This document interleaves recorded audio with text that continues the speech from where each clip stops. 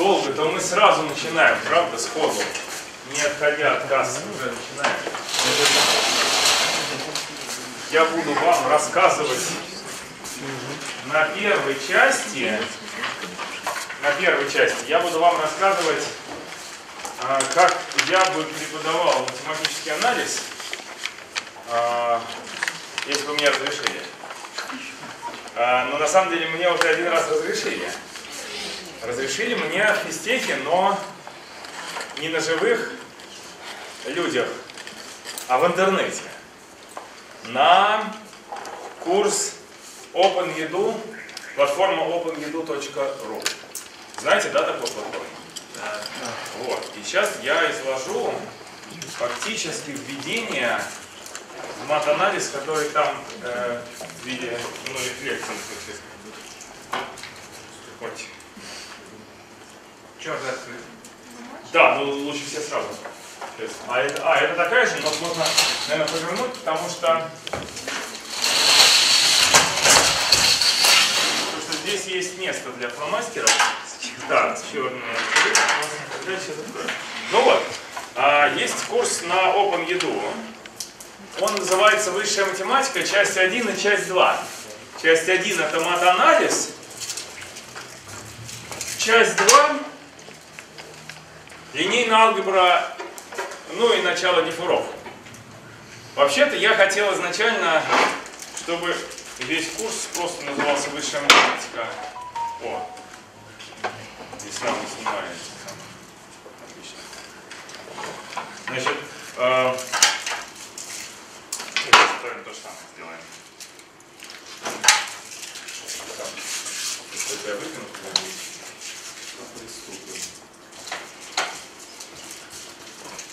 Вот, хотел, чтобы был один единый курс, а, потому что я не, не очень люблю разделять. Там идеи мат-анализа и линейной очень сильно переплетаются. Вообще, как бы, э, смысл деления на школьную и нешкольную, он примерно такой.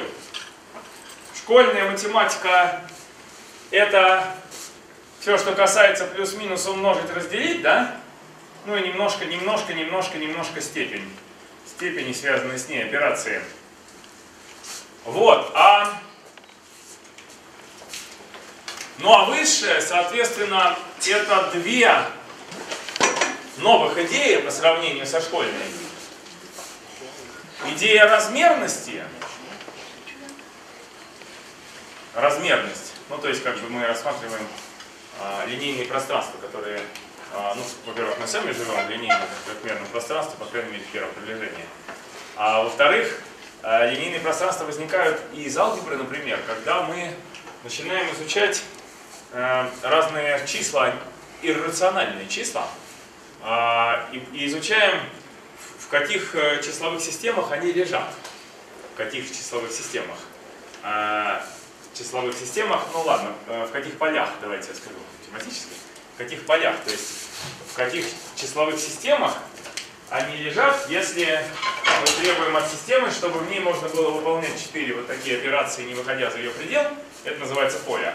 И при этом, чтобы эта система содержала изучаемое нами число.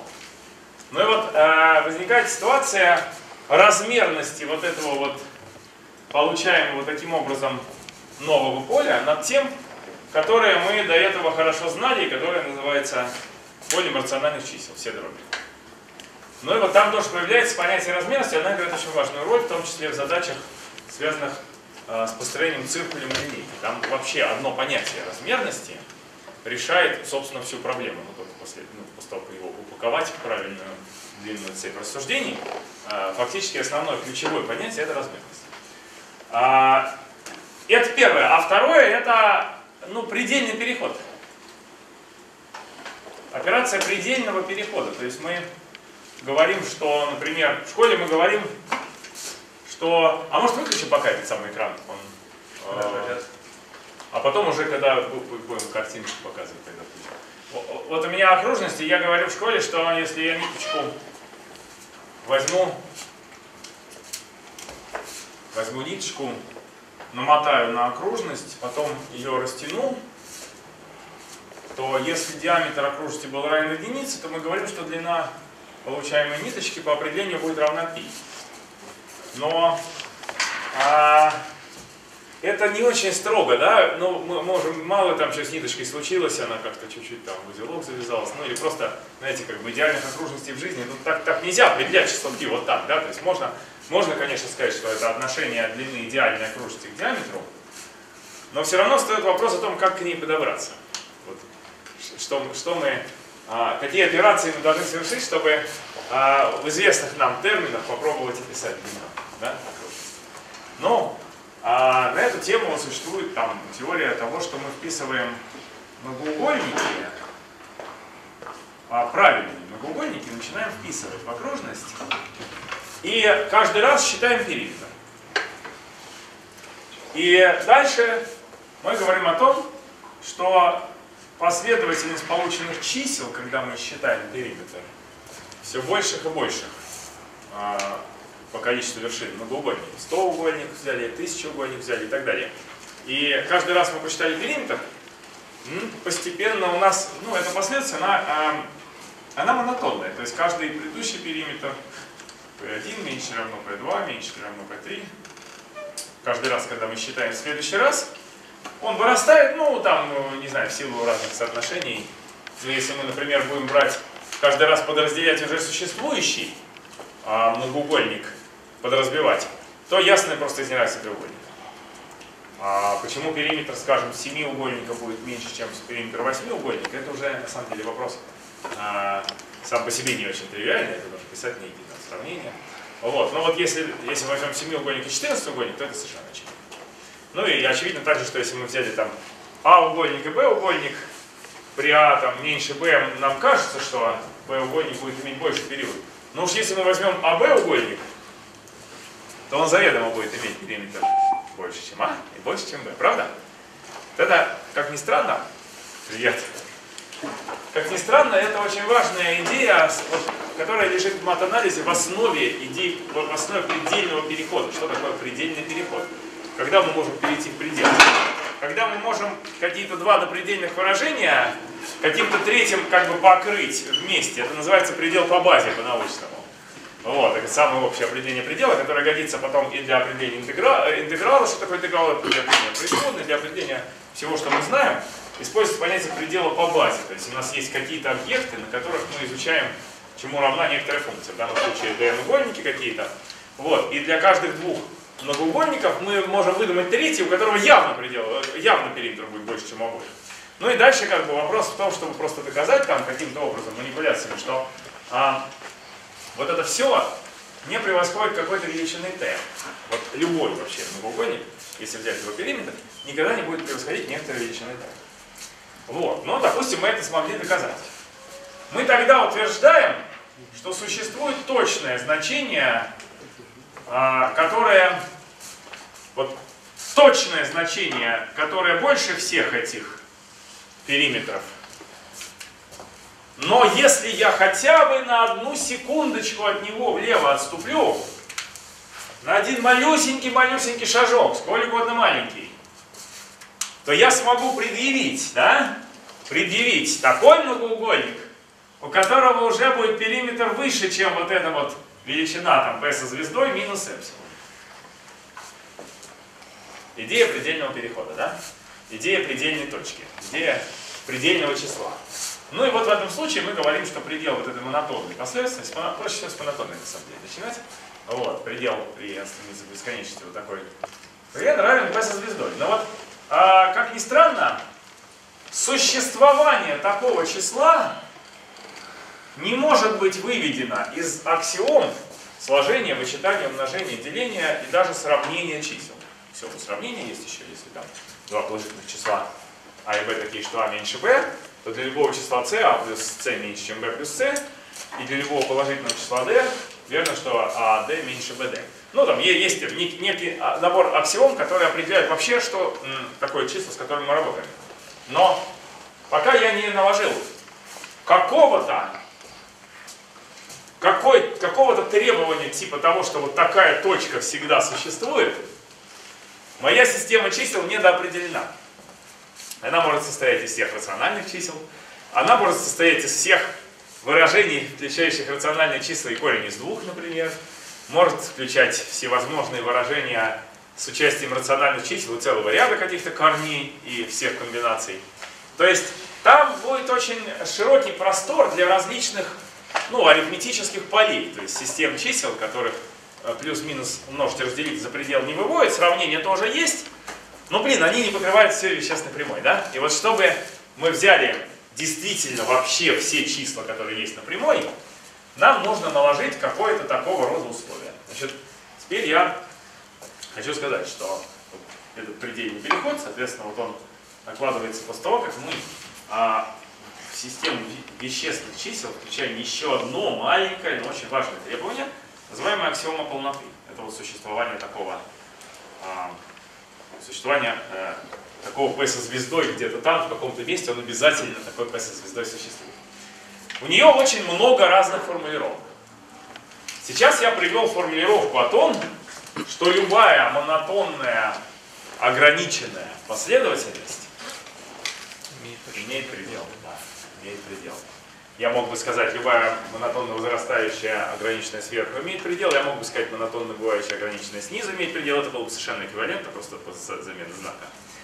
Вот, это одно из, одна, одна из формулировок аксиома полноты. Есть еще целый ряд, у нас в школе было 10 формулировок, и мы должны были доказывать эквивалентность каждой из них, каждой другой. Ну, понятно, что можно выставить вариант такой по циклу, не надо доказывать 10 умножить на 9 пополам разных эквивалентностей, достаточно какой-нибудь такой вот замкнутый провести, ну и еще каким-нибудь образом устроить там дерево доказательств. Вот. Ну и есть еще такие, давайте я скажу вкратце, какие еще есть переформулировки этой аксиомы. Еще такая, что любая вложенная последовательность замкнутых интервалов, то бишь отрезков, любая последовательность вложенных отрезков, да, э, имеет обязательно общую точку. Ну, а, на самом деле, э, достаточно говорить, что любая последовательность отрезков, э, длина которой стремится к нулю, то есть неограниченно бывает, э, имеет общую точку. А почему я говорю о стремлении к нулю, еще не, не дав определения аксиом полноты? Потому что ноль уже есть и так, у нас есть число 0. Мы можем говорить, что значит последовательность стремится к нулю. А полнота начинает быть нужна тогда, когда мы не понимаем, к чему что-то стремится. Мы чувствуем, что предел есть, да? Чувствуем, но мы его не нащупали. А, на что я намекаю? На еще одну формулировку аксиома полноты. Что значит я чувствую, что предел некоторой последовательности есть? Как я могу это попробовать почувствовать? Я могу рассмотреть некоторый член последовательности и направо-налево от него отступить на эпсилон. Получится маленький интервальчик такой, да? И я могу убедиться в том, что все дальнейшие члены последовательности в этот интервал попадают. А если мне свыше сократят еще вдвое интервал, то я скажу, ну нет проблем, вот вам PM, где m уже там сильно больше n, допустим, да? И тогда, пожалуйста, все последующие будут попадать и вот в такой интервал. От PM минус эпсилон пополам до PM плюс эпсилон пополам. Если мне сократят до эпсилон делить на 1000, я опять найду какой-то номер. Как называется такая последовательность? Бывающая? Нет, не обязательно. На букву F начинается. Фундаментально. Да. Называется фундаментальная. И вот еще одно понимание и ощущение аксиомы полноты состоит в том, что любая фундаментальная последовательность должна куда-то досходиться. Не должно быть в этом месте пустого места, куда она вот она стабилизируется, да, она... Если полное пространство. Да, да, да. Вот это и есть, аксиома полноты, это и есть полнота R. Ну, это как бы если просто дальше, дальше для других пространств будет соответствующее понятие. Но первично это вот понятие, что наши действительные числа, они, а, они полны, в них нет дыр. Ну, интуитивно просто идея, что нет дыр. Вот у меня нарисовано. Э, Кстати, есть даже аксиома полноты, формулировки, в которой нет дыр сразу. Значит, как мы говорим? А что значит нет дыр? Ну вот если мы возьмем какое-то множество здесь и какое-то здесь. Если для любых А из А и Б из Б имеет место, что А меньше или равно Б, то тогда существует клин, который я могу вбить между ними. То есть целиком а, выше, в нестрогом смысле, всех, а, всех точек из множества А, и целиком ниже, в нестрогом смысле, всех точек из множества B. Вот наличие этого клина это еще одна формулировка аксиома полноты. Вот. Но полезно, так сказать, ими жонглировать всячески этими аксиомами, э, уметь доказывать, конечно, эквивалентность друг другу, ну и постепенно начинать работать с ними как, ну, так сказать, как вот такой данностью. Если мы куда-то ткнули, там есть точка. И мы понимаем, как это формализовать разными способами. Есть еще один, а, значит, еще один способ построить, построить прям конструктивно. А, построить конструк... Да, это, это аксиоматический подход. Есть еще два конструктивных подхода к вещественным числам. Как в начале мат-анализа стоит в принципе общение с вещественными числами и точное определение, что это такое. Либо мы должны задать аксиомы и доказать, что такой объект единственный с точки, с точки до, там, естественным образом определенного изоморфизма, так сказать. Это такой алгебраический подход. А другой подход просто в лоб построить. Ну, в лоб построить можно двумя разными способами, ну, может и больше, но, по крайней мере, двумя, которые мне э, лично очень нравятся. А первый способ состоит в том,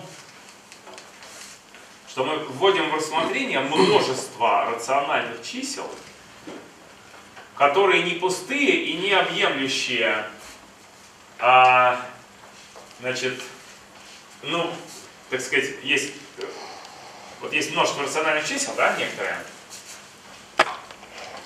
оно не пустое, оно не целиковое, то есть есть э, числа в нем и числа не в нем. Кроме того, у него нет верха, да? нет верхней точки. То есть для любой, для любой а, точки из этого множества существует y из a, такое, что y больше x. Ну, там, э, грубо говоря, визуально это означает, что вот такой интервал. Ну и последнее, это что для любой x из a, а, любая z меньше или равно x тоже принадлежит a. Ну, то есть она как бы, это такие, э, мы в каком-то месте отсекли все, которые слева взяли, но э, именно как бы строго слева в том смысле, что у него нет максимального элемента. Это множество не должно быть, должно быть интервального вида. А, взяли все, которые здесь, и не взяли все, которые здесь. Вот. И дальше там начинается введение разных операций с помощью вот таких вот, то есть такие подмножества рациональных чисел начинают складываться, вычитаться, там, сравниваться. А, ну и это называется метод построения вещественных чисел через сечение Дедекинда. Сечение Дедекинда. Ну и это подход, который описан в книге Уолтера Рудина «Математический анализ». А другой подход к описанию вещественных чисел очень брутальный, он просто стоит в том, что мы говорим, что это десятичные дроби. Но тут есть свои подводные камни, правда? Какие подводные камни есть в строении через десятичные дроби? Иррациональность. Нет, почему? Иррациональное тоже будет, просто там не будет периодичности. Любые десятичные дроби. Но есть некие подводные камни. Так, а иногда бывает на тряпках такая сверху полоса э, белая, которая помогает стирать. То, что... А, ну, нормально, ну, сотрем. Нормально? Ну так, э, в принципе, стирается оно, может быть, если есть где-нибудь такая обыч, обычная кладу, потому что я сейчас э, вот эти вот э, губки станут все грязные. А вот, ну ладно, выдаю э, проблему. Нам нужно некоторые последствия считать одинаковыми. А, а именно, в любом случае, когда с какого-то места начинаются одни девятки, нам нужно считать, что это последствие определяет то же самое число, как и когда предыдущее место на единицу увеличено, и дальше идут одни и те же нули. То есть бесконечные последовательности цифр, в которых с какого-то момента начинаются одни девятки, это не специальные какие-то э, новые числа, а это тождественно равно числу, в котором предыдущая перед девятками цифра просто увеличена на единицу, и все, конечно, конечно, мистично получается. Ну и там. Меня тем очень много копий ломали в 19 веке.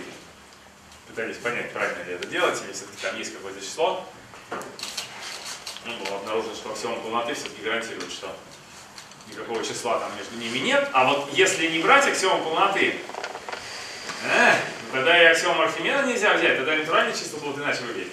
Появляется система нестандартного анализа. О, сейчас вот это наверняка пойдет. Ну-ка.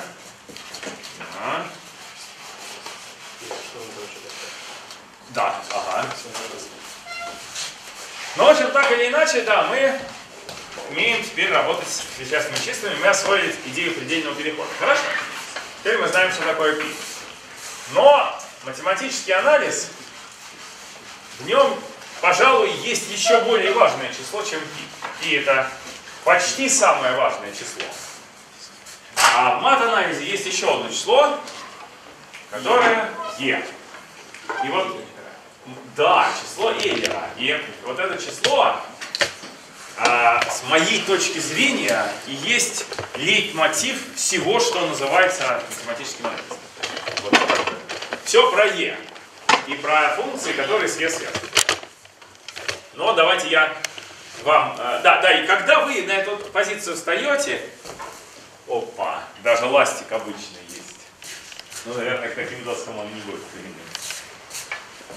Когда вы на эту позицию встаете, у вас, ну, как бы, все обретает смысл. Вот разные странные сходимости, которые вы до этого изучали, э, замечательные пределы всякого вида, много-много предельных переходов, там теоремы о том, что, что такое там абсолютная сходимость все вытягивается в одну и ту же струнку, а именно математическое корректное обоснование а, функции e в степени x и связанных с ней.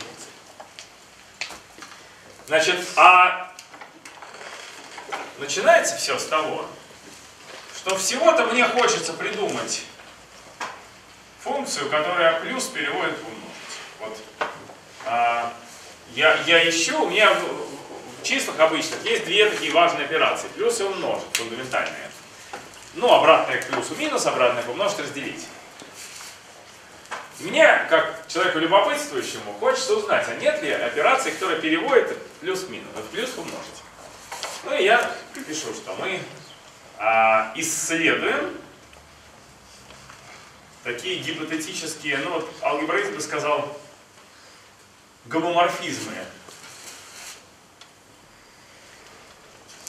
Давайте так, я напишу это слово. Гомоморфизмы двух операций в поле. А, ну, в каком? В обычных наших чисел пока. То есть во множестве вещественных чисел. Я просто хочу разобраться, какие могут быть такие f, что f от x плюс y равно f от x умножить на f от y. Ну и в какой-то момент я постулирую, что мне хочется еще, чтобы f была, обладала свойством непрерывности. То есть предельные переходы, если какие-то совершаются а, относительно переменной внутри функции, то и значения тоже совершат соответствующий предельный переход. Но давайте поизучаем. Предположим, что такая функция существует, хотя бы одна. Тогда я утверждаю, что я утверждаю, что нигде не равна не равна нулю, либо тождественно просто равна нулю. Но тождественно равна нулю это совершенно неинтересная часть. Безусловно, функция тождественно равная нулю этому уравнению удовлетворяет. То есть такое как бы недобросовестное изучение вопроса могло бы состоять в том, что вам задали задачу определить функцию, которая плюс переводит умножить. А вы скажете, такая функция есть, это тождественно равная нулю функция. Самом деле f от x плюс y всегда равно f от x умножить на f от y. Не правда ли?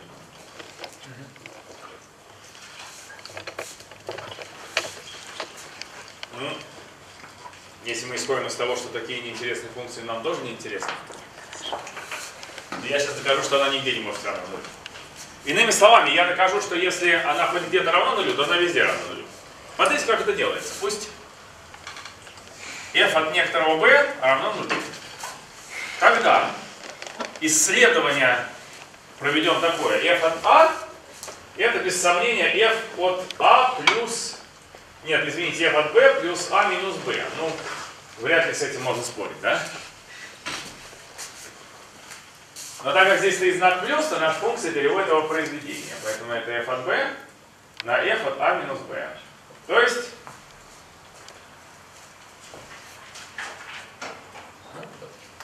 то есть 0. Итак, если f от b равно 0, то f от a равно 0 для любого a. То есть мы опять возвращаемся к этой бессмысленной функции. А поэтому, если мы не желаем говорить о бессмысленных функциях, мы отныне можем вполне предполагать, что она нигде не равна нулю. Равенство нулю в одной точке означает равенство нулю во всех. Хорошо. Это первое замечание. Второе замечание. F от a равно f от a пополам плюс a пополам. Никто со мной не поспорит? Никто? Нет? Ну, а, это же а пополам плюс а пополам, да? Конечно так, пятачок, я и сам так думаю, да?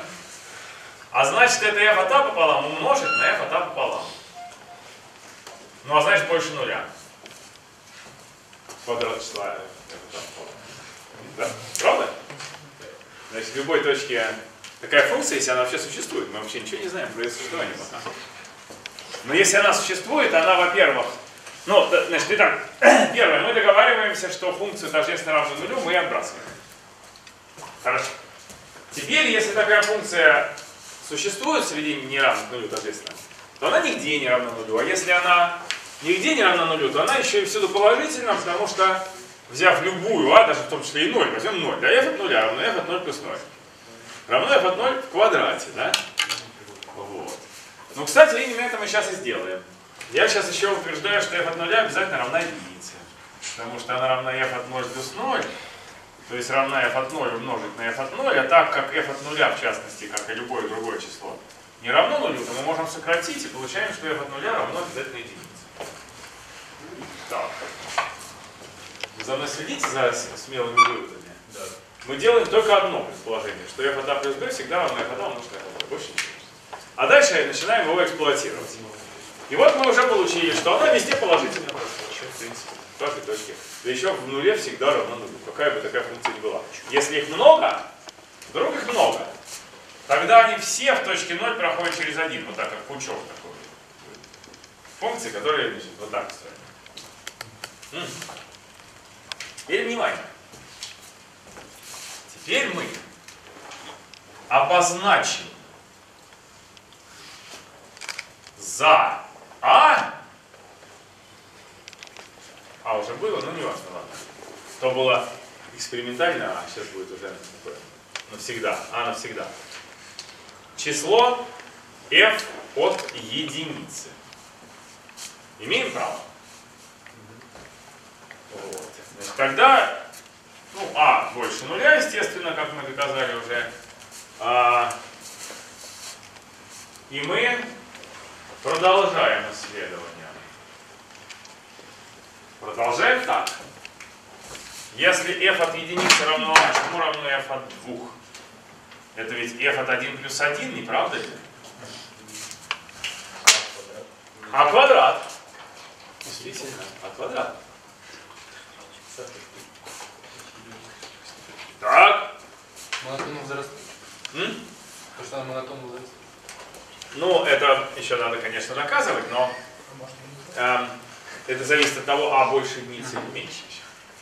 Но, по крайней мере, f от 2 равно а квадрат. Ну, а f от числа 10, например, чему равно? Это ведь f вот 1 плюс 1 плюс так далее плюс 1 10 раз. То есть f от единицы на f от единицы и так далее 10 раз подряд. То есть десятый. А в десятый. Угу. Чего вы что-то подозреваете, сказали вы? Мы, да? Мы все с вами что-то подозреваем. Подозрение должно пересечь уверенность. f от числа n равно а в n при n натуральном. Заметьте, что при нуле тоже. Потому что а в нулевой да, считается равным единице. Кстати, ровно из-за этого и считается, чтобы а в нулевой умножить на кубе, например, было равно в кубе. Вот. Ну а если мы возьмем отрицательное, f от минус m. Но предположим, что я еще не понял, чему оно равно. Ну давайте я его домножу на f от m. Да? Тогда оно равно f от минус m плюс m, то есть f от нуля. То есть 1.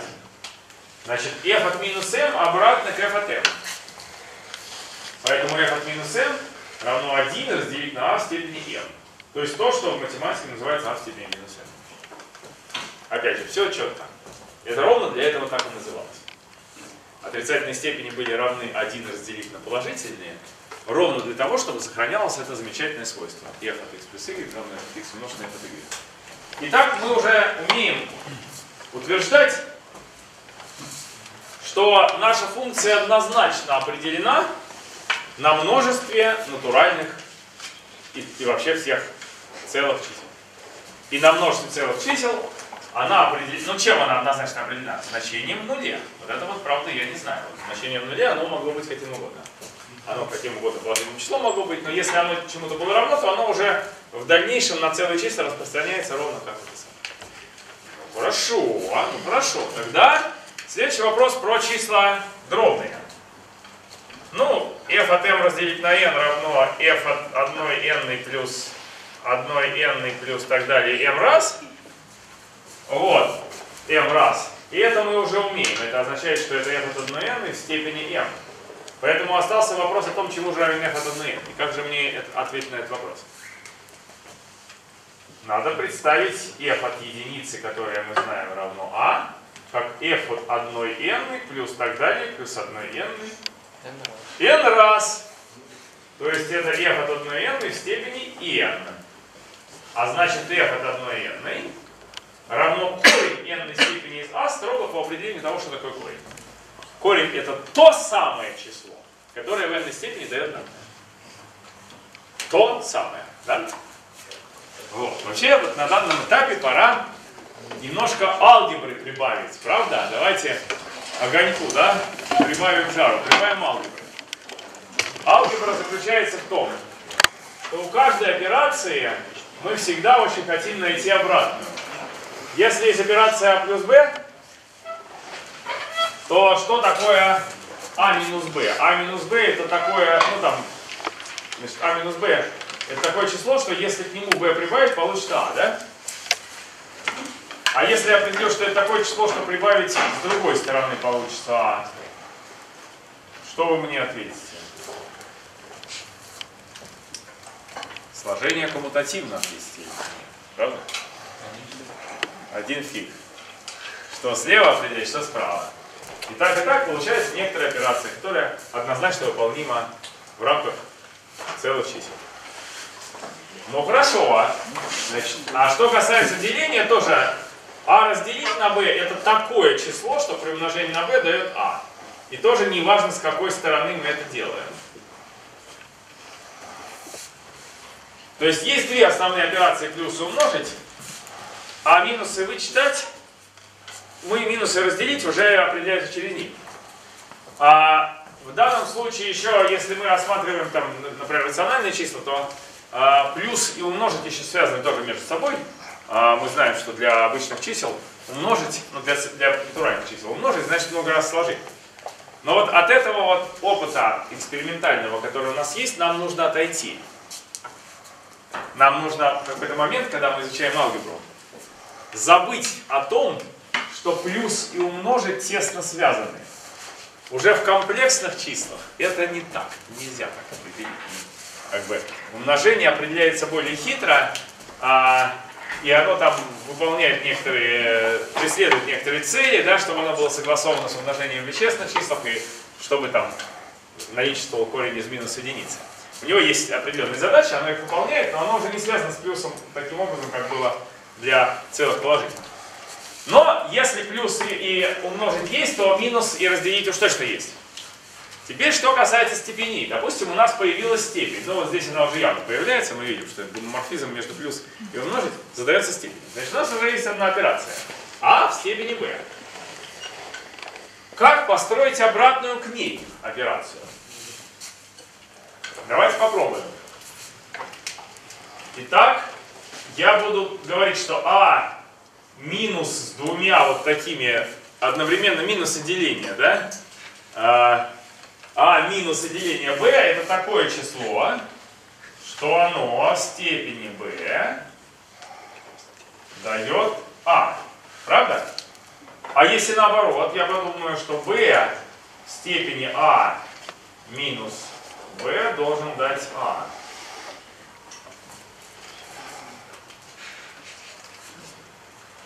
То есть я двумя разными способами на этот раз могу обратить операцию. А почему это так? А потому что А в степени Б и Б в степени А это не одно и то же. И вы это все прекрасно знаете, да? То есть обращение слева и обращение справа это две огромные разницы. И обе эти огромные разницы нам очень важны. Как называется вот это число? Корень в этой степени из А, не правда ли? А это логарифм основания b числа А. Все. Корень и логарифм это две операции, производные по отношению к возведению в степень. Производные не в смысле матанализа, в смысле выводимые как обратные операции.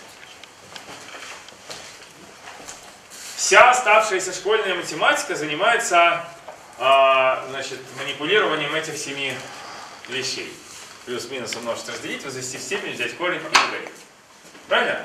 И функции даже называются элементарными, если они ограничиваются этим набором, плюс тригонометрическими, но по, по чесноку тригонометрические это те же, если к комплексным числам мы перешли.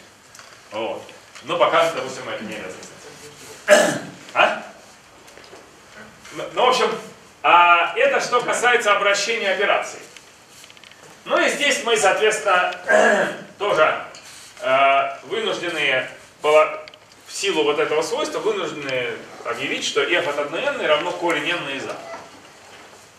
Ну а тогда мы получаем, что f от m разделить на n, f от m разделить на n, равно корень n степени из a в степени m. То есть то, что в школе называют дробной степенью. Правда? а в степени n. То есть получается что? Обобщая вот этот вот экзерсис, который мы провели, мы получаем, что для любого x из q, из рациональных чисел, имеем f от x равно a в степени x. Все. Функция вот этого вида на рациональных числах является возведением в степень. Показательной функции. А что же с нерациональными? Все плохо. М? Все плохо. С одной стороны, да, с другой стороны, на самом деле ничего страшного. Дело в том, что рациональные числа, и это еще одна идея матанализа, но она связана с идеей непрерывности, рациональные числа всюду плотно заполняют обычные.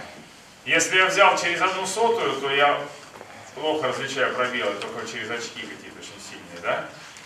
Если я через одну миллионную взял, я вообще их не различаю. У меня этот пробелов больше нет. Хотя они реально есть, если я возьму микроскоп размера миллион, я опять увижу единичный интервал. Вообще, как бы, сколь часто я бы не взял, нужный микроскоп даст мне, что там все равно все абсолютно разрежено. Но, если я этот микроскоп выкину на помойку, то, в принципе, мне кажется, что я все числа описал. Если я хочу приблизиться к какому-то числу, я могу это сделать. Только близко, сколько не захочется. Ну, поэтому мы можем просто, там, проделав целый ряд манипуляций по обоснованию, положить, что e в степени x для нерационального числа это просто предел e в степени э, pn по pn стремящимся к x. То есть взять какую-то последовательность зеленых рациональных точек, которая э, стабилизируется на вот этой вот нерациональной точке x, и по ней, взяв в каждой точке значение экспоненты, мне нужно будет прийти аккуратненько к этому к этой точке, после чего она будет равно. Здесь нужно обоснование, что экспонента является непрерывной на множестве рациональных чисел. Этого будет вполне достаточно. Тогда мы сможем определить предел. Но вот это вот обоснование, оно а, следует из первого замечательного предела, который есть f от значит, e в степени а, да? Какой первый замечательный предел? 1 плюс 1 деленное на n в степени n. А, ну его так называют. Да, но, но есть эквивалентная э, формулировка, что e в степени x минус 1 делить на x стремится к единице. Ну, вот, собственно, к этому мы сейчас и переходим. Мы сейчас переходим а, к тому, чему же, как можно еще определить а, вот эту самую экспоненту. То есть мы, на самом деле, мы поняли, что показательные функции это как раз те, которые нам вот, с помощью этого равенства на нас свалились.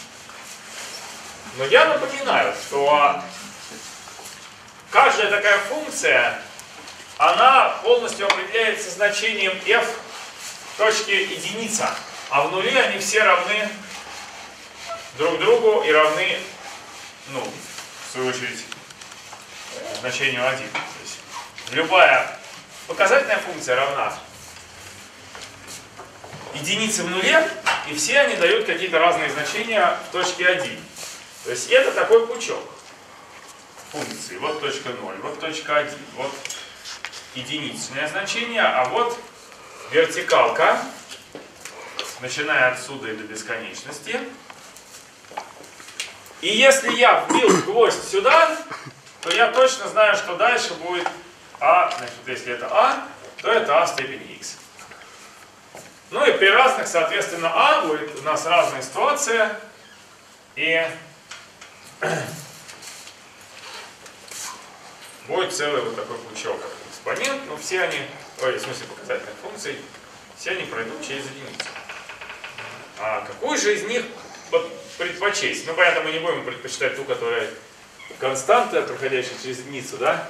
Еще одна есть константа, не только через ноль все время проходящая, но и через один тоже функция. Но не очень интересно, да? Зато следующие все, они они как бы предыдущие, только перевернутые наоборот, один разделить на те. То есть на самом деле э, очень легко понять, что если здесь один на А, а здесь А, то они отличаются тем, что значит, э, та, которая первая, значит, будет один на просто, просто один разделить на ту функцию.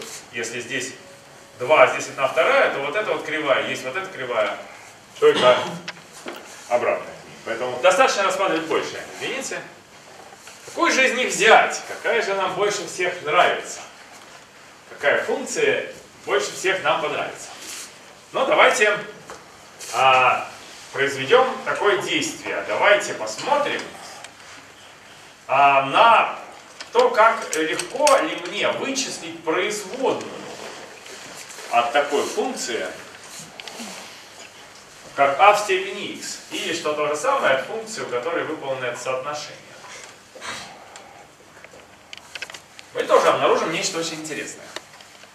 Как я буду вычислять производную? Производная f' в точке x, так, ну со звездой, да? Вот x со звездой. Вот значение а в степени x со звездой. Вот у меня производная. А кто помнит определение производной? Кому завтра матан сдавать? Ага. Аргумент будет эпсилон f будет от x со звездой плюс эпсилон, да? А, минус f от x со звездой, правда? Делить на эпсилон. А теперь внимание, вот это вот для нашего случая мы записываем, что это f от x со звездой домноженный на f от эпсилон, не правда ли? Правда? Да. Сюрприз! f от x со звездой вылезает за предел. Потому что от эпсилона не зависит. Не зависит. Значит, получается f от x со звездой на предельное значение при эпсилон стремится к нулю. f от эпсилон минус 1 делить на эпсилон. То есть, иными словами, f от x со звездой на производную в нуле. Итак, если бы мы начали с этого, а не со сложения, не с анализа сложения и умножения, мы только вот, вот показали, вот я, возьмем функцию, которая удовлетворяет такому уравнению, и возьмем от нее производную. Оказывается, что она равна самой функции умножить на одну и ту же величину, а именно производную в нуле. То есть, такие функции удовлетворяют дифференциальному уравнению. f' пропорционально f. f' равно константная f. Вот. Это, кстати, очень, это очень круто. Это еще, это еще Ньютон заметил. То есть он заметил, что вот из этого следует это. И потом описал кучу процессов с помощью зависимости. Вот, так что это, так сказать, стоит конечно, на плечах гиганта. То есть если, если есть гомоморфизм э, плюса и, не, плюса и умножения, то есть гомоморфизм двух структур, то производная от такой функции пропорциональна есть самой. Ну и какую же нам функцию хочется взять? Ну, мы могли проинтегрировать просто. Ну вот, вы стерли только что, по сути дела. Ну да, я могу проинтегрировать. Но я как бы пока ничего не умею. Я пришел, как с Луны свалился, у меня есть множество там. Вот, но, но я явно захочу, чтобы эта константа была равна единице, иначе я не играю, да, но мне неинтересно иначе, да, мне хочется, чтобы она была равна единице. А? Не, ну можно и пи, конечно, можно что угодно, но э, я к тому, что вот это прям очень красиво, да? Бесконечно можно дифференцировать, дифференцировать. Да, да. Это как в анекдоте про психдом, да? Знаете, да, анекдот про психдом? Расскажите, расскажите. А сидит э, псих и мотает головой. И вообще там бардак вокруг происходит, все психи там дерутся, кричат. А, приходит усмиритель, к каждому подходит и говорит, я тебя сейчас проинтегрирую. И псих с ужасом убегает к себе. А к одному подошел, а тот продолжает болтать головой. Я тебя говорит, проинтегрирую. А тут, значит, э, э, грош хочет. Тогда я тебя продифференцирую.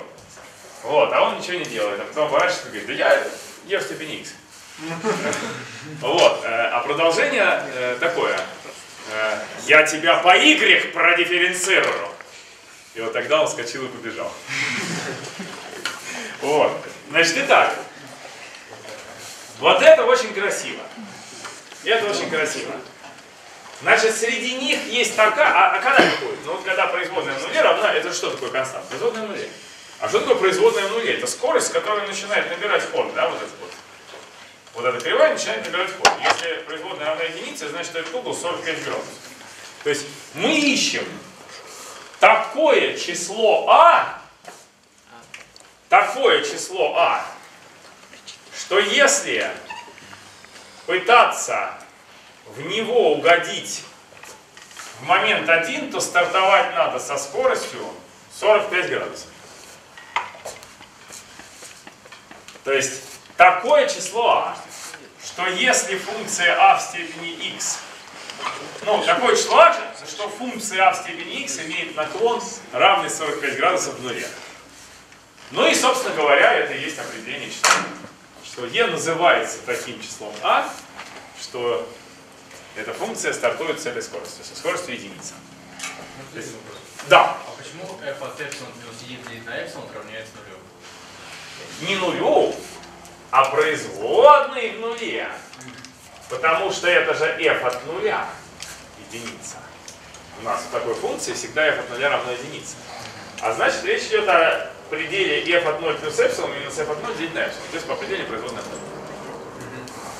И все. Значит, соответственно, если она, если она существует, это отдельная история доказывать, что она существует.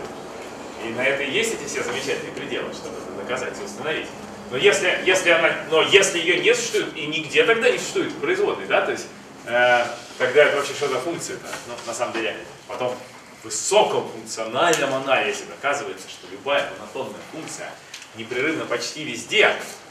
И если уж она вот так вот выглядит, то, то она бы была либо везде, либо нигде. Нигде она не имеет права, значит она везде, значит эта производная существует. Такое супер крутое доказательство того, что есть производная в нуле у показательной функции через функциональный анализ. Вначале доказать, что любая монотонная функция почти везде дифференцируема, потом посмотреть, что в данном случае либо везде, либо нигде из-за этой формулы, а значит везде, а значит есть f' от нуля. Ура! А значит везде дифференцируемо. Ну, такое тип- типичное. э, Но понятно, что прежде чем вы сможете воспользоваться этим доказательством, вы уже будете и так прекрасно это все понимать, потому что функциональный анализ гораздо выше по уровню. Так. Вот. Хорошо. Итак, нас интересует именно это число. Как же нам нащупать его? Хочется какую-то красивую формулу, правда? хочется нащупать такое число, что f' равно f, ну, что для соответствующей функции f' равно f. Вот. Ну, давайте попробуем пощупать немножко.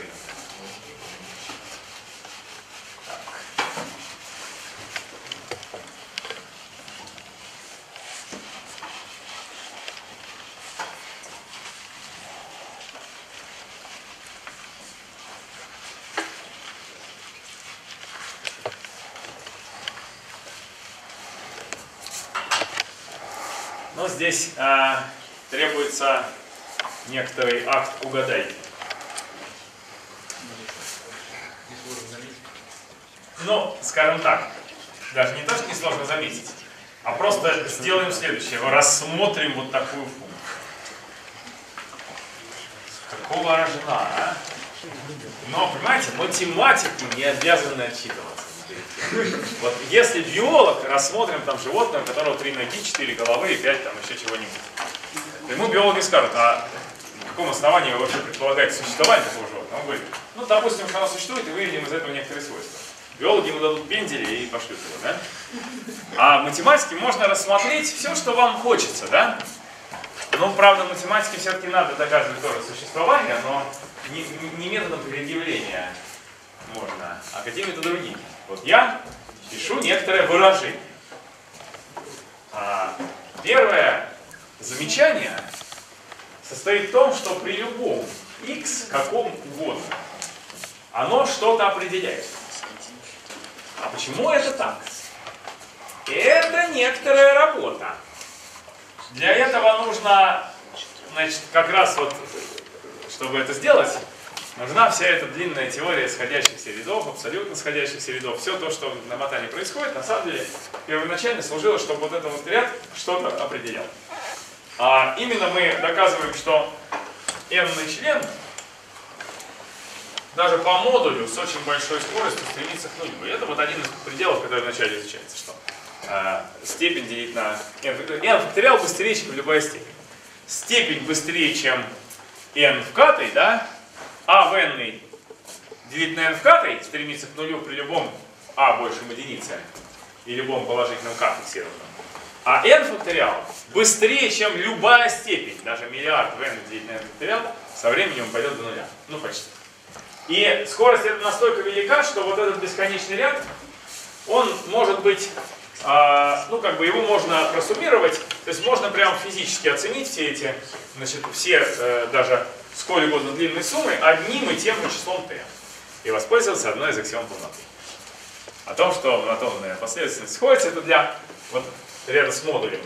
Когда мы заменяем на ряд без модуля, мы пользуемся результатом по фундаментальной последовательности. В общем, другой аксиом полноты пользуемся. Так или иначе, мы можем через некоторое время понять, что вот это выражение что-то означает. И причем означает очень, так сказать, так, очень уверенно. А, означает для любого x а, какое-то число. Ну и дальше, значит, вопрос, что мы можем теперь с ним сделать. Ну вот, э, еще целый, целая порция страшных заклинаний математического анализа позволяет взять производную, просуммировав производные от каждого шага. Это тоже совершенно не очевидно, если у меня бесконечное количество слагаемых. Почему это я могу а, взять от суммы производную путем взятия производной от каждой и тоже суммирования? Тоже отдельный, целый, целый длинный класс мат-анализа, который это оправдывает, Но после того, как мы ее оправдаем, что мы получим? А, то же самое.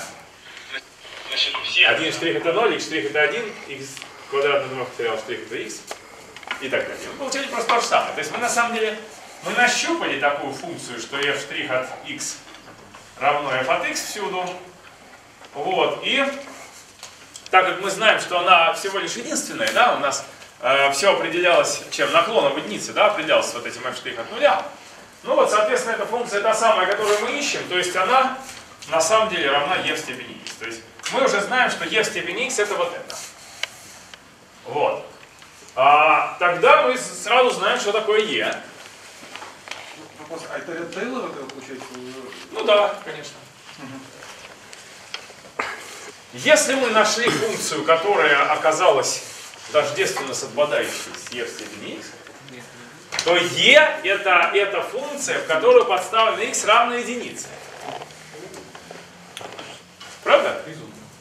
А значит, мы уже знаем для e некоторую прекрасную штуку. 1 плюс 1 плюс 1 на 2 факториал плюс 1 на 3 факториал и так далее. Значит, теперь я вам сейчас расскажу задачу. Вы ее решите дома. Хорошо? Задача.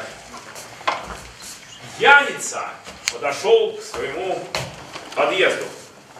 Остался один метр. Вот. И он делает шаг, но шатается, он делает шаг случайным образом распределенный равномерно между нулем и единицей. То есть длина шага может быть почти равна нулю, может быть почти равна единице, равномерно распределена на этом отрезке. Если он попал в дверь, он говорит ура и падает там, засыпает. Если он в дверь не попал, он делает следующий шаг, тоже распределенный между нулем и единицей. На этот раз попал, падает, засыпает. Нет, опять делает шаг. Найдите среднее число шагов, которые он совершит. То есть берем тысячу пьяниц, а, и каждый из них разыгрывает такую игру. В среднем какое число шагов они совершат. Ну вот, в среднем будет совершено. Но я вам дам ответ, а вы его проверите. Е. Не далее, как сегодня на конференции в Пестике мы обсуждали с знаменитым комбинаториалистом Джоэлом Спенсером, что пи очень легко определить, а е сложно. Для е нет никакой сказки. Я ему сказал, почему же есть сказка о пьяном? И рассказал, он ее не знал. Он был в таком восторге, что можете, можете, может гарантировать, что все, теперь все его лекции будут в Америке э, э, включать вот это вот определение числа Е. Это сто процентов совершенно. И, соответственно, эта история станет знаменитой. Вот. И единственное, что там, там на конференции есть поляки, э, ну и вообще как бы возник тут же спор, э, все-таки пьяный русский или пьяный поляк. Вот здесь, здесь получилось Здесь получилось несоответствие. Возможно, в одних частях Америки будут учить, что Е является решением задачи о пьяном русском идущем там, а в некоторых частях Америки о пьяном поляке идущем. Вот это вот до конца не определено. Да? А задача они непрерывно на 4%. Конечно! Она приводит... Да, значит, и это вторая. И это он знал. Это он знал, но она сложнее. Тоже наглядно.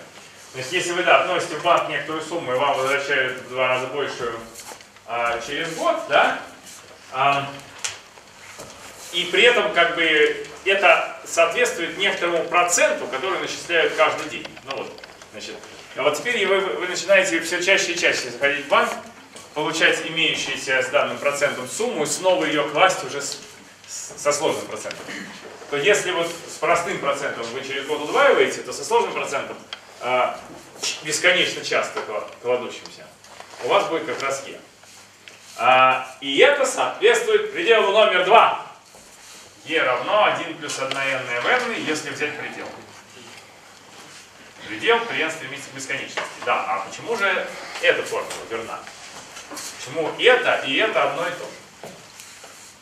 Ну и кроме того, может быть кто-то не вполне удовлетворен вот таким вот дифференцированием и, может быть, не до конца поверил. Вот тем, кто еще не до конца поверил, что это как раз e в степени x, я советую в лоб перемножить вот такие два выражения, пользуясь свойствами биномиальных коэффициентов. Получится ровно вот это. Вот просто ровно вот это, и вы это увидите.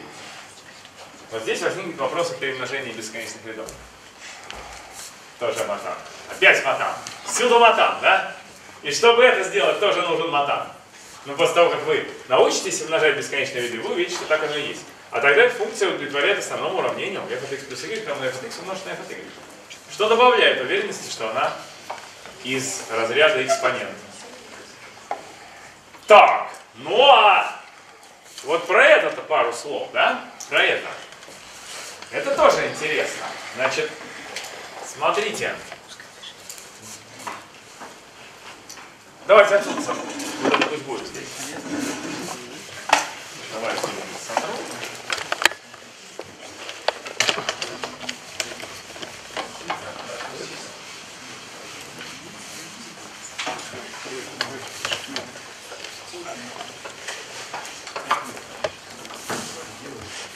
Так.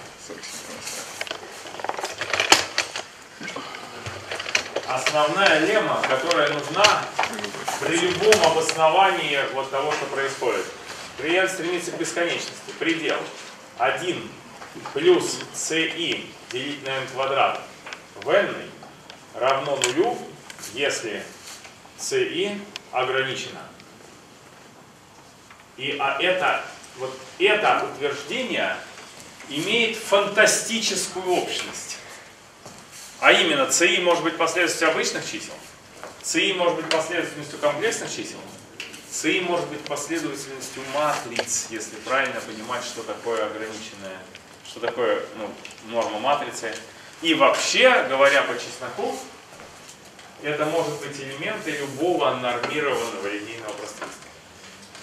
То есть это вот здесь начинает мат-анализ с идеи размерности. Как только мы начинаем экспоненты переносить на более сложные объекты, сразу мы упираемся в то, что мат-анализ, значит, предельные переходы с линейной алгебры начинают как-то взаимодействовать, интерферировать очень интересно, через матрицы как раз. Вот, значит, как это доказать? Давайте я вам дам маленький намек. Намек стоит в том, что вам надо разложить это, в общем-то, по формуле бинома Ньютона и аккуратно посмотреть, чему равны коэффициенты. Вот что у нас будет происходить. Давайте посмотрим аккуратненько. 1 плюс c, значит, э, а, а, сейчас, а где здесь, э, значит, ограниченная последовательность? А, но это на самом деле значит, что я могу взять, прошу прощения, здесь cn просто. Я, в принципе, могу взять их разными при разных, при разных n, но при этом, значит, сама последовательность, значит, она вся по модулю меньше или равна модулю c, и всех меньше равно t. Вот, и что будет, если я возвел на каком-то этапе? Да, на, на каждом этапе нужно свою степень возводить. Значит, если я возвел на каком-то этапе, я пишу, значит, тут а, n раз по cn деленный на n квадрат, да? n раз по, значит, cn деленный на n квадрат. Дальше будет n на n минус 1 пополам. Это биномиальный коэффициент, да? Вот, а, соответственно, cn квадрат делить на n в четвертой. Ну и типовой, вот как будет выглядеть типовой? Типовой будет выглядеть так, что это будет n на n минус 1, так далее на n минус k плюс 1 делить на k факториал, n в степени 2k, cn в степени k. Ну и вот идея в том, что на самом деле а, вот это все можно просто как n в k оценить сверху и сократить с этим k. У меня получится здесь делить на k факториал, да еще да и на n в k, и тут домножается на, а, соответственно, на k степень какой-то ограниченной последовательности. И в результате чем дальше вы возводите в степень, да, тем сильнее давит вниз вот это n большое, которое остается. Вот здесь 2n квадрат сюда и n квадрат еще сюда. Тут то же самое, значит, n, n, n в каты пошло сюда, и n в каты еще осталось. Вот, это, вот эта штука там, допустим, можно просто проигнорировать, считать, что она равна единице, а это 1, 1 вторая, это 1 на k факториал. А эти штуки, они все время будут ограничены сверху одной величиной. Да? А это равняется нулю? Я... В пределе в пределе к n стремится к бесконечности. Да, да. Потому что у нас с каждым разом, с каждым разом идет, э, здесь все сильнее и сильнее подавливается. Ну, можно на самом деле весь вот этот ряд ограничить некоторой величиной n. Не, у вас сум, сумма положительных чисел равняется нулю? Нет, в пределе. У нас э, это сумма положительных а чисел. единица. Ну вот, я поставил, там n равно 1000, да, что здесь такое? Здесь там что-то деленное на 1000 плюс что-то на 1000 в квадрате и так далее. Это понятно, Окей, но у вас первая единица. Да, у вас сумма положительных Ой, ой, что я написал? Господи помилуй, единицы, естественно. Да. Единицы? Конечно, единицы. Предел равен единице, боже мой. Это... Да, спасибо большое, ясно, что вы не спите. Это очень хорошо. Да, и это все действительно зануляется в пределе, и видно почему. А вот это, естественно, никуда не денется, и оно и есть значение предела. То есть, если вы напичкали сюда знаменатель n квадратов, то у вас предел будет равен единице. То есть он начинает отклоняться немножко единицы, а потом при росте n э, все ближе и ближе к. А тогда следующее следствие такое, что вообще предел при n стремится к бесконечности. Если вы здесь написали, ну давайте, э, для простоты давайте теперь здесь будет константа какая-то просто. Вот. а, чтобы не, с этими вариативными не, не связываться, но помните, что вер- верные для ограниченных последовательностей тоже. Так вот, если я сейчас напишу 1 на k делить на n плюс t делить на n квадрат, и вот это все степень n, и что? Будет игнорировать вот эту часть предельное выражение. Оно будет только первую часть. Только первая часть будет такое же. То есть на самом деле утверждение, что он будет равен пределу при n стремится к бесконечности 1 плюс k на n v. А вот эта часть не будет никак а, играть роль. И на самом деле доказательство, доказательство довольно симпатичное. Мы можем, а, мы можем домножить на предел 1 минус k на n в n обе части. Домножить на предел 1 минус k на n в n обе части. И тогда что произойдет? У меня внутри предельного перехода, внутри предельного перехода получится значит, предел к бесконечности 1 минус k на n в n умножить на 1 плюс k на n в n. Видите, что это такое? Ну, разум. Ну да. Разность квадрат. 1 минус k квадрат на n квадрат в n. Предел, то есть единица. Ну а второй то же самое. При- Предел при n стремится к бесконечности 1 минус k на n в n умножить на 1 плюс k на n плюс t на n квадрат тоже проглотит, не заметив этот t, деленный на n квадрат. Здесь сократятся линейные части, все остальные будут заменять или содержать n квадрат. А в числителе что-то ограниченное, какое-то конкретное число. И значит тоже будет равно единице. Значит, если при домножении на вот этот предел оба эти становятся равными единице, значит они оба равны 1 разделить на этот предел. То есть одному и тому же. Ну а, ну а теперь, как бы, смотрите, если вы умеете доказывать, что такой предел есть, то чему равен Чему равно тогда? То есть, если вы, вы уже доказали, что такой предел есть, тогда пришло время выяснить, чему равно g от x умножить на g от y. Это предел такого на предел такого. Вносим все под скобку, общую предельную. Получаем 1 плюс x на n плюс y на n плюс xy на n квадрат. Внимание! Это мы не замечаем, и получается g от x плюс y. А значит, g удовлетворяет основному уравнению, которому удовлетворяет показательная функция. Все. А значит, это тоже вот это вот. Вот это g, которая равна 1 плюс x на n в n пределе, тоже равна тому же самому а, вот этому f от x. Ну а тогда f, g от единицы тоже равно e. То есть вот это и это одно и то же. Но можно и в лоб доказывать, что предел вот такой совпадает с этим рядом. Можно и так действовать. В общем, как ни действуй, у вас получается два замечательных определения. Для экспоненты, ну а дальше, ага, Это фактически квадрат бесконечно малый. Это, ну, в каком месте? Вот здесь. да. Ну, так под- здесь надо аккуратно быть. Тут как бы, а, тут возведение в n идет. Это суть именно в этом, потому что иначе бы она сама была права. А вот когда в n возводишь, тут вот эта вот та часть, которая делится на n, она, она влияет на результат. А та часть, которая не делится на квадрат, она не результат. То есть э, окончательно получается у нас сразу два основных способа задать экспоненту. Оба! А? Уже три. Уже три. А дифференциальное уравнение? Ну да, да. А, физики вообще любят через диффуз сдавать. Понятно? Посмотрим это уравнение, у него есть решение. Оно называется экспоненты и так далее. Вот. Ну и, конечно, ничего не зависело от того, что это вещественное число. С комплексами все то же самое совершенно. Таким же образом задается комплексная экспонента. И тоже двумя разными способами, тоже очень легко показать, что эти два способа эквивалентные.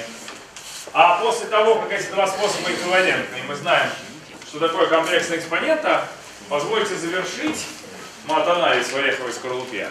доказательством того факта, что e в степени EP равно минус единице часто, ну и вообще, э, это обобщение какого факта? Обобщение формулы e в степени и фи равно косинус фи плюс и синус фи, правда? Вот эта формула в учебниках иногда вводится, ну, постулируется. Это наш способ просто записать косинус фи плюс и синус фи. Иногда доказывается через ряд Тейлора.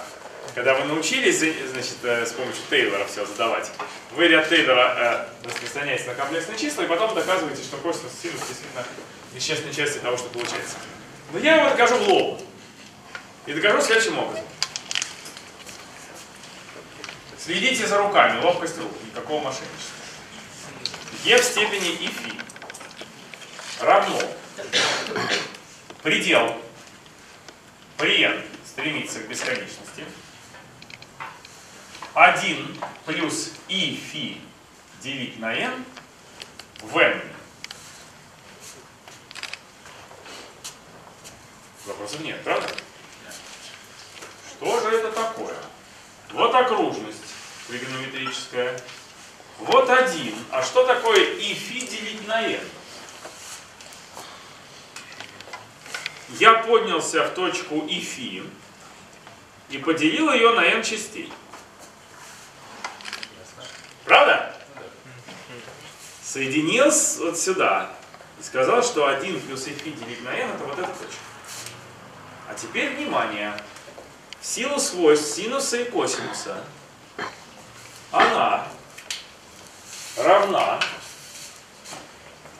то, что внутри скобок лежит, равно точке окружности, то есть косинус фи на n плюс и синус фи на n, плюс поправка бесконечно малая второго порядка.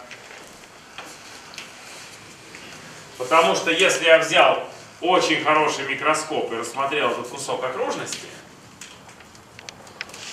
то отсюда, от вертикальной линии до зеленой точки при том же углу, расстояние является бесконечно малой второго порядка, как комплексное число, правда?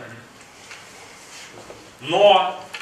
А, а почему второго порядка? Второго, потому что э, косинус плюс и синус а, маленького числа, а, ну, как бы окружность здесь вот так загибается, она здесь прямой угол имеет. Ну да, ну ладно. Вот, ну там известно, есть, есть некоторые предельные формулы, там синус x делить на x это примерно 1 минус x квадрат там на что-то, а косинус x, 1 минус косинус x это примерно x квадрат пополам. Ну, Ну, можно и в лоб это рассмотреть. Ну, тогда, тогда ясно, что второго порядка. Ну, прижимается к ней, это касательное, здесь касательное. Раз касательное, значит второго порядка. Первого порядка это вот эта высота. А второго то, что между ними стоит. Но мы уже знаем, что предельные выражения такого типа нечувствительны к вот этой вот бяке второго порядка. А значит, я могу просто заменить на предельное выражение вот этого. Синус фи на n в n. А что же такое косинус фи на n плюс и синус фи на n в n? Как возводятся в n степень комплексные числа, заданные в тригонометрической форме? Угол угол умножается. умножается на n. Поэтому в скобке вот в этой вот под, под пределом стоит просто фиксированная величина косинус фи плюс и синус фи. А значит и предел ее тоже равен косинус фи плюс и синус фи. Что и требовалось доказать. e в степени фи равно косинус фи плюс и синус фи. А если мы поставим пи, то получим e в степени и пи равно косинус пи плюс и синус пи, то есть минус единица. А можете повторить единица плюс и фи на n? Как вы заменили на косинус фи на n плюс и синус фи на n? А, я это заменил так. Я рассмотрел, что это за число на плоскости. Вот единица, а вот и умножить на фи, да еще деленное на n. Значит, соответственно, от нее на окружности бесконечно близка второго порядка, вот этот вот угол, да, вот, если был угол фи, я вот это, фактически, если я на много частей поделил, то это примерно как раз получается φ делить на n. То есть угол делится на n э, частей. Вот. Фи взял, положил фи, разделил на n частей, попал в такую точку, вот это вот, и фи делить на n, отличается от, ну про, просто синус маленького угла, да? Это и синус фи делить на n. Это то же самое, синус э, и фи делить на n, это фи делить на n, отложенное вверх. Но синус x при малых x примерно равно x. Это можно заменить. да. Точность получается порядка даже больше, чем квадрат, но там получается куб. А уж у, а у косинуса он получается ква- квадрат. Вот. Поэтому заменив косинус и синус на соответственно единицу и фи на n вверх, мы получаем, что вместо вот этого можно написать это. И тогда отличие будет на э, квадратный порядок малости.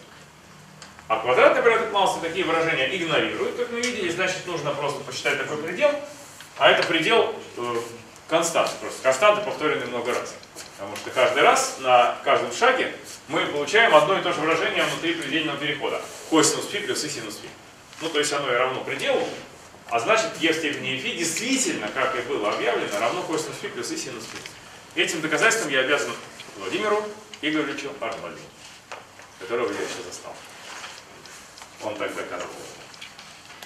Ну и все, значит, e в степени e равно минус единице. И в книге «Обыкновенные дифференциальные уравнения», которые я категорически рекомендую всем присутствующим, этот переход очень детально описан.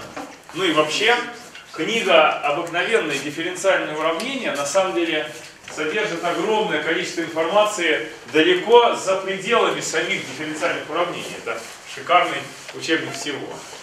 Так что я вам его очень рекомендую читать, понимать, изучать. Это книга Арнольда. И там очень много упражнений. Это раз. И картинок больше, чем страниц. Это два. Так, ну вот. Ну вот. Я, наверное, затянул первую часть, да? Сделай первую. Ну, можно маленькую, да. Э, А остальные две слить в од- в одну, как бы, такую. Математика, а, а, математика открытой проблемы и математика вокруг нас. В Единый такой комплекс. Сделаем небольшой перерывчик.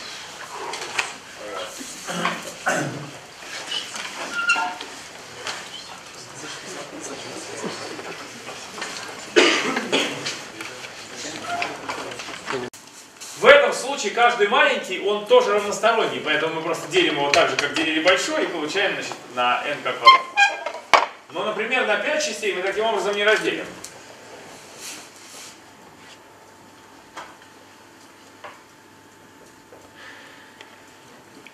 Попытка разделить треугольник на 5 частей производилась очень долго. Когда у меня была лекция в Мурманске, меня подозвала одна девочка, а, в, в- в- школе, значит. А в некоторой школе была лекция. Сейчас, в общем, она подзывает говорит, вот, э, рисует вот такую картину, где там все вроде как внешне выглядит как надо. И а, раз, два, три, четыре, пять. Ну, там аккуратный анализ показывает, что такая картина невозможна. Да, они не будут равны друг другу. Но вообще, эта девочка была в пятом классе. Вот она, значит, пока я за- задал задачу, за одну минуту выдумала вот такую картинку, значит, деление на пять частей. Так, э, я ей тут же, значит, книгу э, задарил, просто немедленно. Вот. А, хотя, э, я думаю, что она эту книгу перерастет, пойдет дальше. Но факт тот, что на самом деле на пять частей не было понятно, как делить очень долго, и были попытки доказать, что это невозможно. В 2013 году задача была решена в положительном ключе. Равносторонний треугольник возможно разделить на пять частей. Этого не заметили древние греки, а может быть они не рассматривали такие странные варианты деления, не считая их правильными. Как они корень из двух правильным числом они не считали. Вот. Ну и, значит, соответственно, э, вот то, что мы сейчас с вами увидим, а это тот случай, когда доказательство не, не, не только простое, оно непосредственно предъявляемое. Поехали. Врубай. Патракеев. Придумал этот пример. Да, вот. Вот он. Пять частей. Каждый цвет есть одна отдельная часть. Михаил Патракеев, Екатеринбург. Уральское отделение Российской Академии Наук. 2013 год. Деление равностороннего треугольника на пять частей.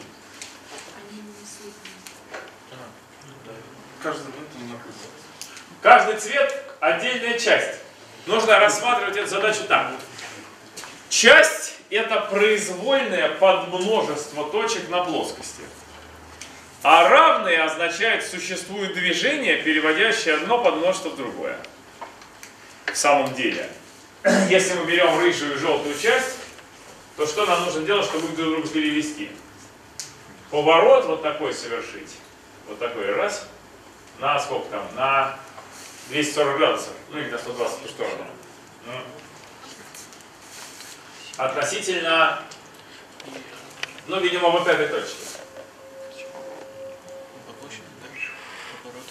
Дальше. Зеленая это тоже поворот, соответственно, на еще. А синяя и красная, они с отражением уже идут, повороты с отражением друг относительно друга. И заполняют весь оставшийся пробел. Исключительно красивая картинка, совершенно непонятно. Ну, видимо, древние не стали бы признавать за решение наличие несвязанных частей. Но получается, что треугольник бьется на пять равных частей, но не связанных. А их можно соединить? А, в каком смысле? Ну, переставить, например, оранжевые к оранжевым. Никто не умеет. То есть соединить, грубо говоря, превратить эту картину в пять связанных кусков, никто не знает. Это открытая проблема, с нее и начнем. Итак, знаменитая нерешенная задача математики. А? Это щиты, я так не играю. Ну вот, да, древние могли сказать, что это 4. Итак, можно ли разрезать правильный треугольник на 5 связанных кусков, переводящихся друг друга движением? Ответ – это неизвестно. Неизвестно, можно ли, нельзя ли. Нерешенная проблема в математике. Далее. Неизвестно, можно ли разделить на 7. Хоть каких. Каких угодно. Неизвестно. Ну и вообще в этом ряду, вот на- насколько частей можно разделить, там значительное количество пробелов. Однако есть еще один прикол. Появился он позавчера. Нет, в понедельник, не позавчера. Да. Гриша Мерзон а, в независимом университете показал мне эту картинку. Но это не он выдумал, но он ее значит, нашел где-то и говорит, вот э, если ты любишь такие вещи, то вот, пожалуйста, это разделение правильного треугольника на очень-очень-очень много треугольников со сторонами, пропорциональными числам 3, 5 и 7. Оказывается, треугольник со сторонами 3, 5, 7 имеет угол 120 градусов. Так уж вышло. Можно проверить лоб с помощью теоремы Костица. А дальше уже начинает играть вот это, да, вот это вот арифметика этих треугольников, играть роль. И, в общем, треугольник большой бьется на большое количество вот таких мелких, весьма экстравагантным методом. Сколько их тут? Много тысяч. А кто их так видел? А? Кто их так кропотливо видел? Но там есть общий метод разделения на очень большое количество частей. Но вот как э, уменьшить, э, как на какое-то ра- разумное маленькое, это неизвестно. Кроме того, там это количество частей, оно должно что-то там делиться, очевидным образом там какие-то специально. То есть а, есть бесконечное количество новых вариантов. Но это тоже последние, я понимаю, последние годы все. В задаче непочатый край, на самом деле, просто непочатый край. А, Есть еще одна задача в этом же духе, совершенно в этом духе. Я про нее редко рассказываю, иногда рассказываю, иногда просто забываю. Задача Дональда Кнута называется. Все знают, что 1 это 1 минус 1 вторая плюс 1 вторая минус 1 треть плюс 1 треть минус 1 четверть, правда? И так до бесконечности. Все это знают. Также почти все знают, что если я взял разницу двух соседних обратных натуральных, то это их произведение. Одна вторая минус одна треть равно одна вторая умножить на треть. Одна там, треть минус одна четверть, это одна треть умножить. То есть это 1, это 1 плюс, э, значит, 1 равно 1 э, умножить на одну вторую, плюс одну вторую на одну треть, плюс одну треть на одну четверть и так далее. А это что? А это площадь прямоугольника сторонами 1 треть 1 четверть, правда? Возникает интересный соблазн нарисовать квадрат стороной 1 и начать в него укладывать все эти прямоугольники один за другим. Вот такой. Потом одна вторая на одну треть. Только как я сказал, одна, сейчас одна, да, одна треть на одну. Да, одна вторая на одну треть. Так, как нам тут уложить? Вот так. Одна треть там на одну четверть. Одна четверть на одну пятую. В общем, дальше, дальше вот они укладываются, укладываются, укладываются. Ну и вообще говоря, нет никаких препятствий к тому, чтобы они все там уложились в виде некоторой картинки.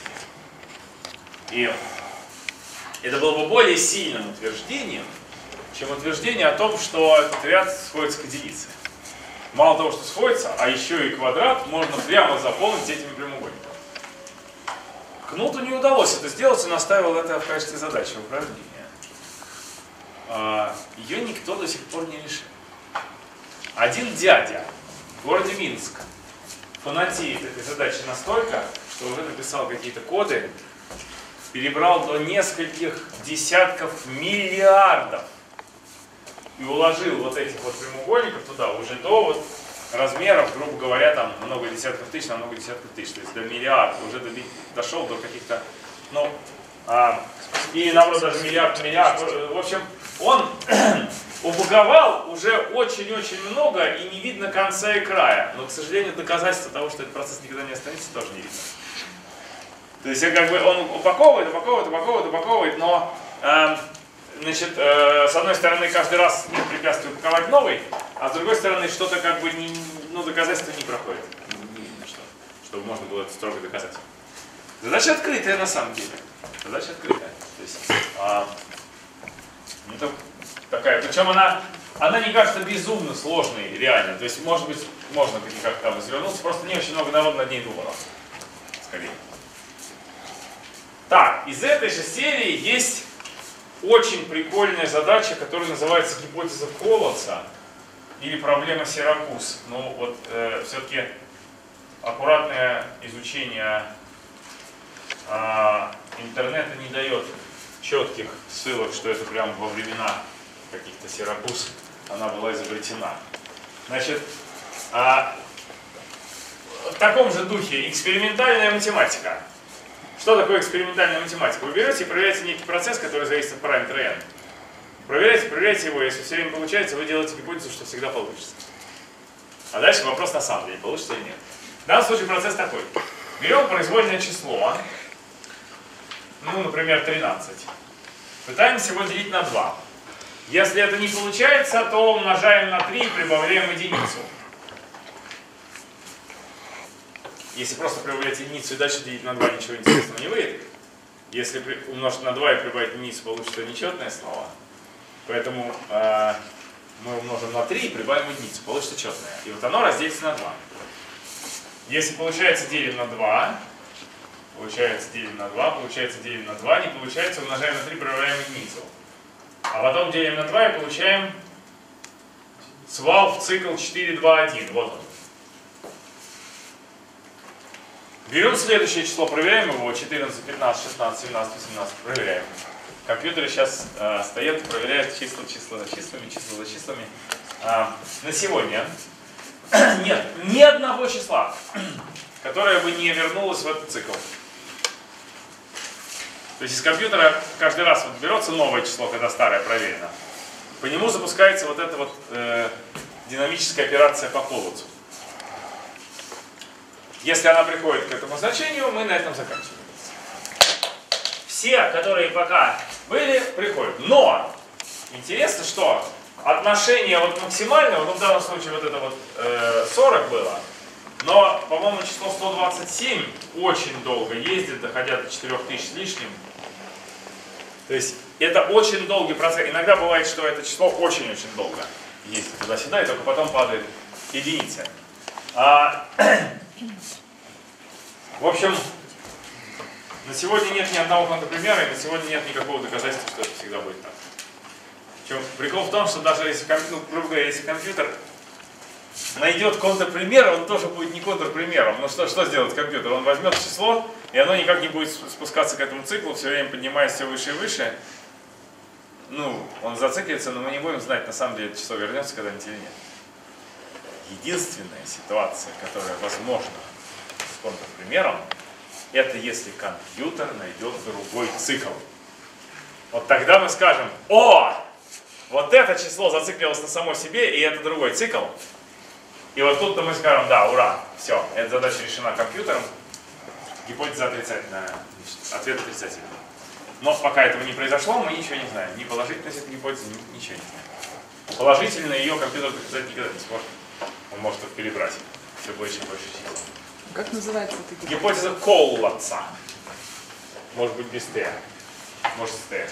По-моему, с Т. Гипотеза Коллатца. Так, следующая задача. Следующая задача касается совершеннолетия по-математически. Что такое совершеннолетие? Совершеннолетие – это когда вам исполняется совершенное число лет. Что такое совершенное число? Совершенное число – это число, которое равно сумме всех делителей меньших его самого.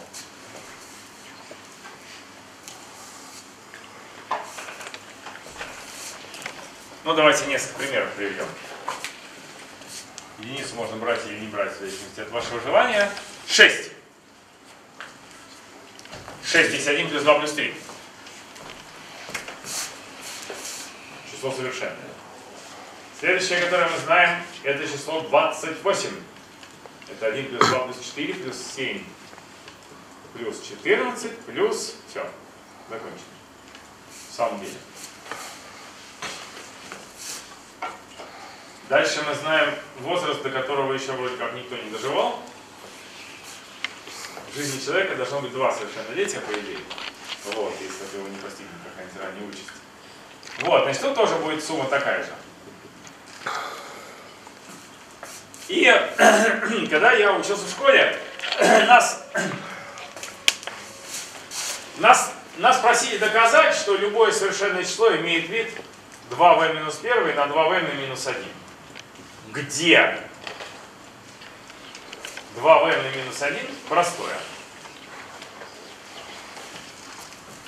Вот предлагалось доказать, что, во-первых, любое число вида 2v минус 1 на 2v на минус 1, да, то есть вы, вы двумя разными способами говорите, что такое 2v на степени минус 1, 2v на минус 1.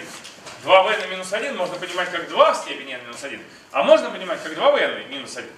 Вот если вы понимаете двумя разными способами, просто запишите произведение этих двух пониманий, и утверждение стоит в том, что вы получите совершенное число, если 2v минус 1 простое, но опять же, не нужно помнить, какое именно, потому что 2v минус 1 простым быть не может. Значит, если оно простое, то это совершенное. И обратно верно, если четное число является совершенным, оно имеет такой вид. То есть вот это вот не очень сложно доказать, характеризация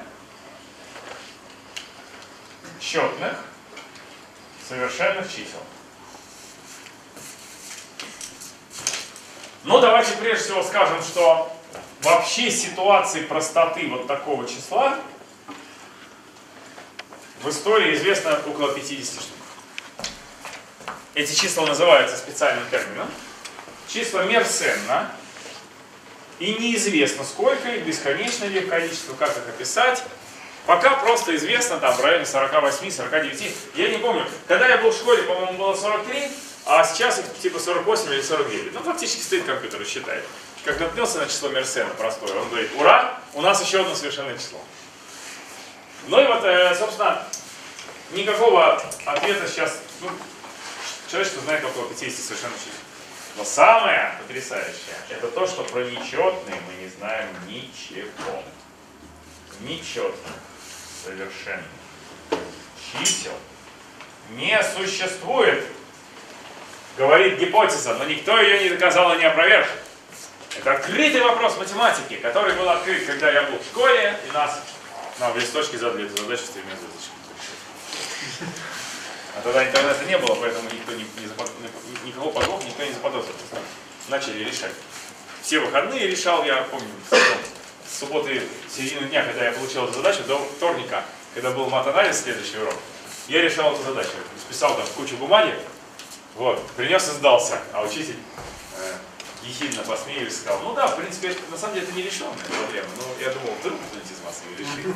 Почему бы не дать, да? Вот. И мы сидели и решали. Но эта задача до сих пор не решена. Никто не знает. Там есть довольно серьезные оценки на, э, ну, во-первых, на размер, там оно огромное совершенно должно быть, это просто чисто перебором можно сделать. Но еще и теоретические оценки на количество простых, которые должно входить в это число, если оно вдруг такое. То есть количество простых в разложении на множители должно быть безумным там. Ну, как безумным, по-моему, начиная с 8, может быть, различных простых, каких-то там серьезных степеней. Вот. У меня, кстати, были, по-моему, когда я исследовал, я пришел к тому, что там сколько-то простых минимум должно быть в разложении, но сейчас оценки гораздо более серьезные. Так, нерешенная задача. Ну, про простые числа на самом деле нерешенных задач масса. И э, значит, есть еще задача, связанная с построением правильных многоугольников. Э, доказано, что, во-первых, э, построение правильных многоугольников сводится к построению правильных многоугольников с простым количеством сторон. То есть нас интересуют P-угольники для P нечетных простых. Если мы это умеем, то мы умеем говорить, какие правильные многоугольники вообще строятся. Причем там на самом деле очень интересно. Ответ такой. Значит, а, а, нечетноугольник, нечетноугольник, нечетноугольник строится тогда и только тогда, когда в его разложение входят простые в первых степенях в разложении числа, числа n. Но эти простые, то есть если хоть одно простое в квадрате, уже точно не строится. Все. Девятиугольник не строится в циркуле Мерии. 25-угольник не строится. Ну и, соответственно, кратный им тоже. Но вот это, вот такие строятся тогда только тогда, когда строятся соответствующие PI угольники. А про PI угольники все узнал Гаусс. Точнее, Гаусс потом доказали в одну сторону, он, он, он узнал, другую потом доказали. P угольник при простом P строится тогда и только тогда, когда P есть на этот раз 2 в n плюс 1. Число Ферма, простое число Ферма. Вот это Мерсен, а это Ферма. То есть есть две такие симметричные задачи. Задача о том, какие простые числа имеют вид 2n и минус 1, и задача про то, какие простые числа могут иметь вид 2n и плюс 1. Та задача связана с совершенными числами, эта задача связана с построением правильных многоугольников. Но здесь есть дополнительный элемент интереса. Если у n есть хотя бы один нечетный делитель, догадываетесь, что тогда? то 2n плюс 1 это 2 в степени r в степени l плюс 1, а тогда это 2n плюс 1 на 2 в степени r на l минус 1, минус 2 в степени r на l минус 2, плюс 2 в степени r на l минус 3, минус так далее, плюс 1 в конце. Это разложение на множители. Ну, например, x7 плюс 1 равно x плюс 1 умножить на x шестой минус x пятый плюс x четвертый минус x кубе плюс x квадрат минус x плюс 1. Вы не будете со мной спорить, правда? Ну а здесь то же самое, просто мы возвели два в и в L или нечетно. Но если нечетно, тогда есть такое разложение. Нечетная степень раскладывается, ну, x в нечетный плюс 1 раскладывается. Но это ясно, что эти два множителя там, сильно положительные, понятно, что дают уже разложение на множитель исходного числа. А значит, мы не можем надеяться на простоту. Все, остальное. Вот. А значит, у числа n нет нечетных делителей. Ну и что из этого следует? Что n равно степень двойки. степени двойки. 2 степени q. То есть простые числа Ферма обязаны иметь вид двойной экспоненты двойки плюс 1. Сама, сам показатель при двойке тоже должен быть степенью двойки. И такие действительно существуют. Например, 3, 5, 17. Но на самом деле наука знает ровно 5 примеров. 3, 5, 17, 257, 65 537. И это 2 в степени 2 в нулевой плюс 1, это 2 в степени 2 в первый плюс 1, это 2 в степени 2 в квадрат плюс 1, это 2 в степени 2 в куб плюс 1, и это 2 в степени 2 в четвертый плюс 1. Ферма однажды сказал, похоже, что все они простые. Но был осторожен, он не сказал, все они простые, он сказал, похоже. А Эйлер взял и разложил 2 в степени 2 в пятый плюс 1 на произведение, которое начинается с 631 и дальше что-то такое. Я забыл. Может быть, даже здесь я неправильно. В общем, Эйлер разложил э, следующее якобы простое число Ферма на множители. В дальнейшем компьютер разложил все остальные известные числа. Ни одного больше примера числа 2 в степени 2 в куты плюс 1, которое было бы простым, наука так не узнала. Поэтому на сегодня строятся с помощью циркуля линейки 5 существенно разных многоугольников равносторонних, правильно. А также все многоугольники с любыми произведениями, соответствующими P1, P2, там, P5. Ну, в общем, 31 различный многоугольник с нечетным числом сторон. 31. 2 в 5 минус 1. Может быть построен циркулем линейкой. Ну, а четные угольники там, понятно, что сводятся к нечетным, потому что если я умею строить там 17 угольник, я умею строить 34 угольник, 68 угольник, и дальше как бы путем деления на 2 всегда. Угол всегда можно разделить на 3 части. Поэтому, э, чтобы узнать, какие многоугольники строятся, сразу делите на 2 много раз, пока не станет нечетный. И если нечетный при этом имеет вид произведения каких-то вот этих по одному разу, то все хорошо. Если нет, то нет. И на сегодня вот известно только, только 5 простоугольников, которые строятся. Только 5 простых чисел Ферма. Ни одно больше не известно. Мерсена дофига. Мерсена постоянно новые находят. Все больше и больше. Но про Мерсена, соответственно, гипотеза стоит, что ну, там их бесконечное количество, дежурная гипотеза. А про числа Ферма просто гипотеза стоит в том, что их больше нет. Ну, на самом деле можно было бы сформулировать как угодно ее, мы просто больше не знаем. И компьютер пока не знает. Так, что про простые числа мы еще знаем, а что еще не знаем? Что еще знаем, а что еще не знаем?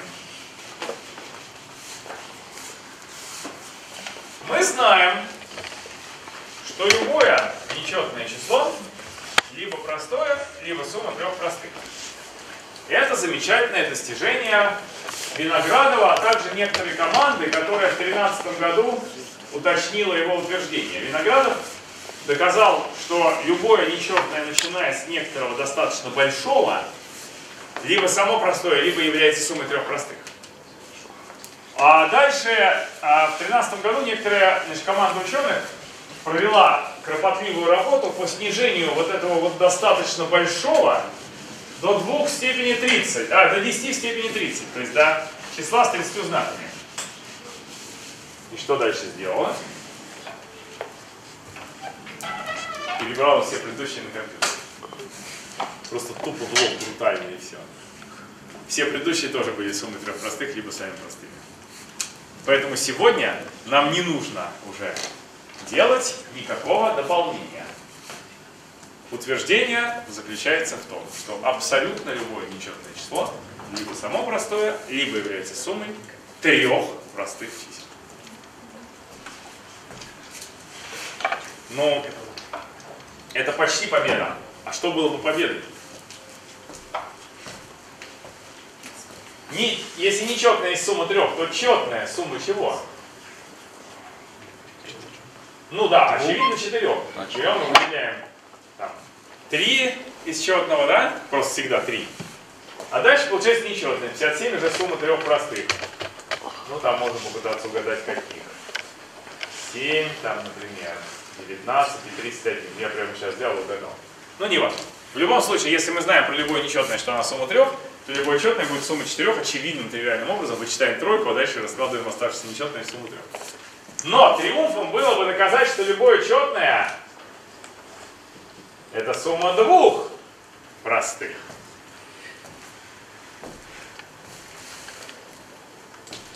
Это гипотеза Фельдбаха и Виноградова не поддается человеческому усилию. С момента 71 года, когда Виноградов доказал про три, фактически сдвигов в ней нет. В 71 году я еще не родился. Ну, я не слышал ни про какие разумные сдвиги, ни про какие статьи, в которых кто-то претендовал, что-то там понял и осталось ему помочь. В отличие от некоторой другой гипотезы, который произошел революционный сдвиг в том же 13 году. Что же это за гипотеза такая? Это гипотеза о простых близнецах. Как вообще распределены простые числа? Если я их выпишу подряд, я увижу, ну, вначале значительные скопления. Вот. Я помню до 43, 47 помню. Дальше 53, дальше кажется 59 и 61. Ну, в общем, если я буду продолжать, то будут часто вылезать вот такие парочки. Или не часто, но время от времени. Два простых подряд идти не могут по очевидным причинам. Одно из них четное, значит непростое. А вот через один уже нет очевидных причин. И в принципе могло бы быть так, что э, два подряд простых идут прямо через два. Более того, компьютер, если вы будете его, его просить, э, там, э, вам показывать простые числа, э, будет с завидной регулярностью время от времени выдавать вам два простых, идущих просто через один. Евклид предположил, что их бесконечно много таких. Евклид, Евклид предположил, что... Вот он их назвал близнецами. Близнецы. Бесконечно много. Ставлю знак вопроса, потому что это предположил Евклид, но ни о каком доказательстве речь не шла. Что дальше с этой задачей происходило? Дальше происходило довольно интересное а, ее, так сказать, а, развитие этой задачи происходило так. Гаусс подтвердил общее впечатление, что простые числа встречаются все реже и реже. Он собрал огромную статистику, ну чисто вот прямо статистику, да, по простым числам. И а, угадал некоторый закон. Вот давайте я, так, ну, может кто-то сзади просто его знает, но если, а, если кто-то не знает, давайте попробуем произвести угадайку. Так, вот я беру миллиард. И отступаю от него в обе стороны на 500 тысяч. Чтобы остаться недалеко от исходной точки. Миллиард минус 500 тысяч, миллиард плюс 500 тысяч. В рамках, понятно, такого размера, как миллиард, несущественно. Но с другой стороны, между ними находится целый, прямо, целый огромный миллион чисел. Да? Вопрос, как вы думаете, сколько из них будут простыми? Одно. Версия одно. Много надо уточнить. 1100, 200. То есть есть такой большой разброс. Между 1 и 100 тысяч, да? Но, в общем, Ну, четные мы в любом случае выкидываем. ну это конечно. Отлично. Но вообще, значит, э, люди, которые думали о математике, но не знают про синтетический закон, обычно сильно принижают количество простых, которые в этом ряду есть. А синтетический закон, который называется теоремой Адамара Плева Лепусена, но на самом деле должен также иметь имена и Гаусса, и Эйлера, и Чебышева, который первый что-то действительно существенное получил на пути доказательства этой гипотезы, заключается в том, что плотность простых чисел в некоторой окрестности натурального ряда вокруг данного числа пропорциональна 1 разделить на логарифм натурального этого числа. Но логарифм натуральный даже миллиарда невелик, правда? Типа 23. Значит, каждое двадцатое число будет простым. И действительно ближе к 100 тысячам, хотя все-таки скорее 50 тысяч чисел в этом интервале оказывается простыми.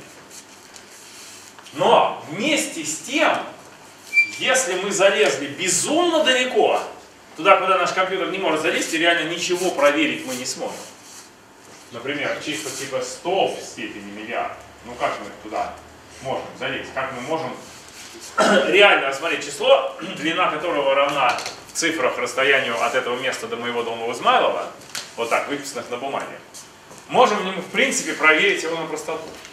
Ну, вообще никак не можем. Существующий компьютер, ну не знаю, может быть он, там, может быть компьютер сегодняшний за несколько лет ее решит, я просто не знаю. Но факт тот, что ни о какой информации статистической, чтобы проверить там много таких чисел на простоту, речь явно не идет. А асимптотический закон говорит, что в районе такого безумного числа простые встречаются уже достаточно редко. Логарифм натуральный вот этого числа равен миллиарду натуральных логарифмов десятки. Ну если мы их проигнорируем, логарифм натуральной десятки, мы получим, что примерно каждое миллиардное число. Ну там логарифм десятки это 2 с лишним, но а, даже, даже пусть он равен единице, да, все равно получается, что они встречаются реже, чем в одном из миллиарда случаев. То есть там далеко-далеко-далеко, да, куда никогда не, не коснется никакая рука человека, простые числа встречаются уже редко. На основании этой гипотезы возникло серьезное движение в пользу того, что мы просто не умеем залезать слишком далеко. Ведь это вот простые близнецы, они, ну как бы они визуально противоречат этому, этой идее. Если простые встречаются в среднем с частотой 1 из миллиарда, а в дальнейшем эта частота будет падать, падать и падать, да, до нуля, то тогда какие близнецы? Близнецы кончатся, конечно, в конце концов. Ну а дальше, когда еще некоторое время пройдет, кончатся простые числа через 4. А потом кончатся простые числа через 6. А потом пройдет там еще некоторое время, мы дойдем до чисел типа 10 в степени 10 в степени 10 в степени 10, да, многоэтажных экспонентов. И у нас кончатся простые числа, идущие через тысячу или меньше. Ну и так постепенно будет все кончаться и кончаться.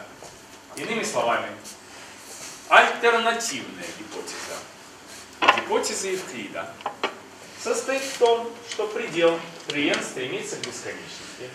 Удобно, первая лекция была про матан, теперь можно просто писать предел. Расстояние между соседними простыми равен плюс бесконечность. Мы просто ну, не умеем ждать. Если подождем, то кончится на расстоянии 2, потом кончится на расстоянии 4. Ну и предел равен плюс бесконечности, значит, что для любого фиксированного расстояния, даже миллиарда, я смогу указать тот участок натурального ряда, не знаю, 10 степени 10 и так далее, миллиард раз, в котором больше никогда не будет соседних простых на расстоянии меньше, чем миллиард. Что же верно? Это или это? Про это мы ничего не знаем. А это неверно.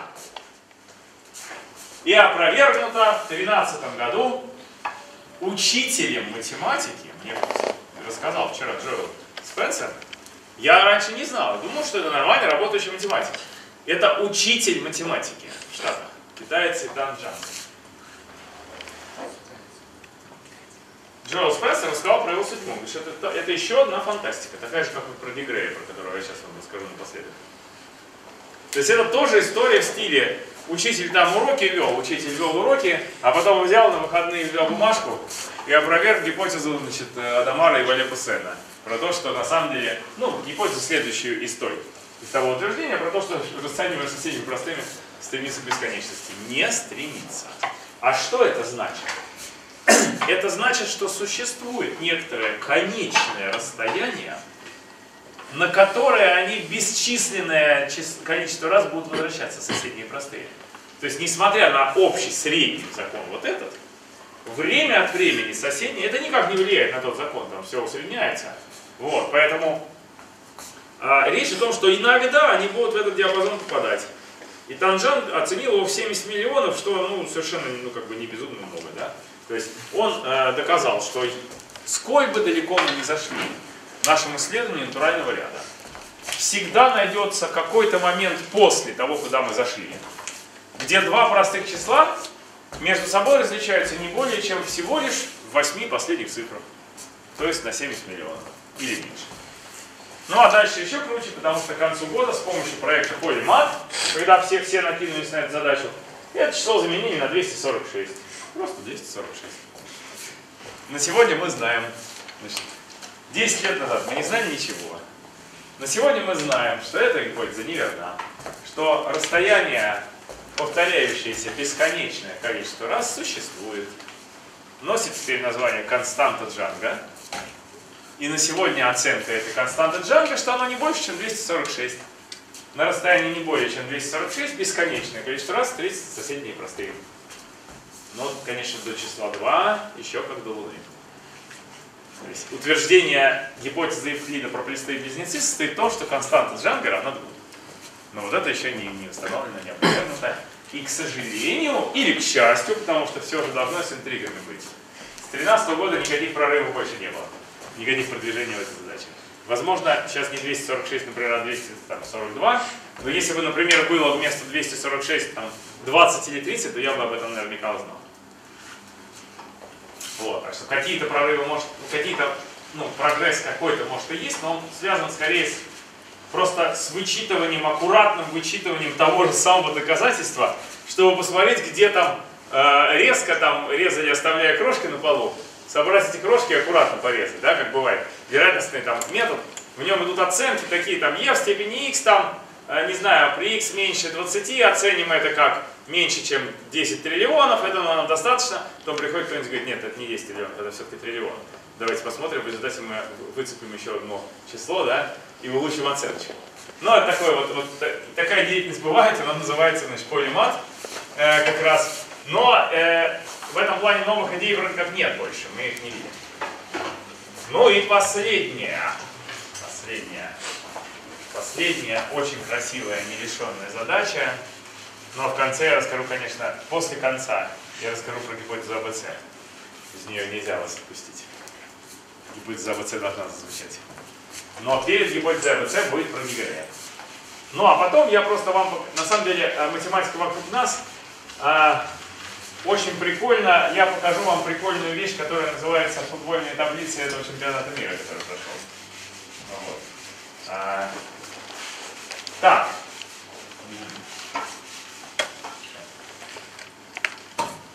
публика, которая умеет слушать, лучше выбирать что-нибудь более автоматизированное.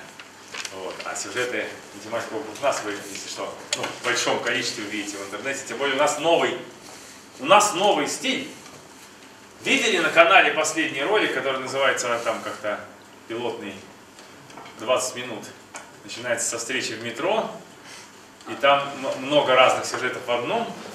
И он сильно хайпанул, вообще очень сильно. То есть за несколько дней 20 тысяч просмотров и куча народу понабежала но, но, новых на канал, а мы сидели еще там две недели назад. Мы сидим и думаем, ну блин, все тормозит. А, знаете, закон корня из Т, да?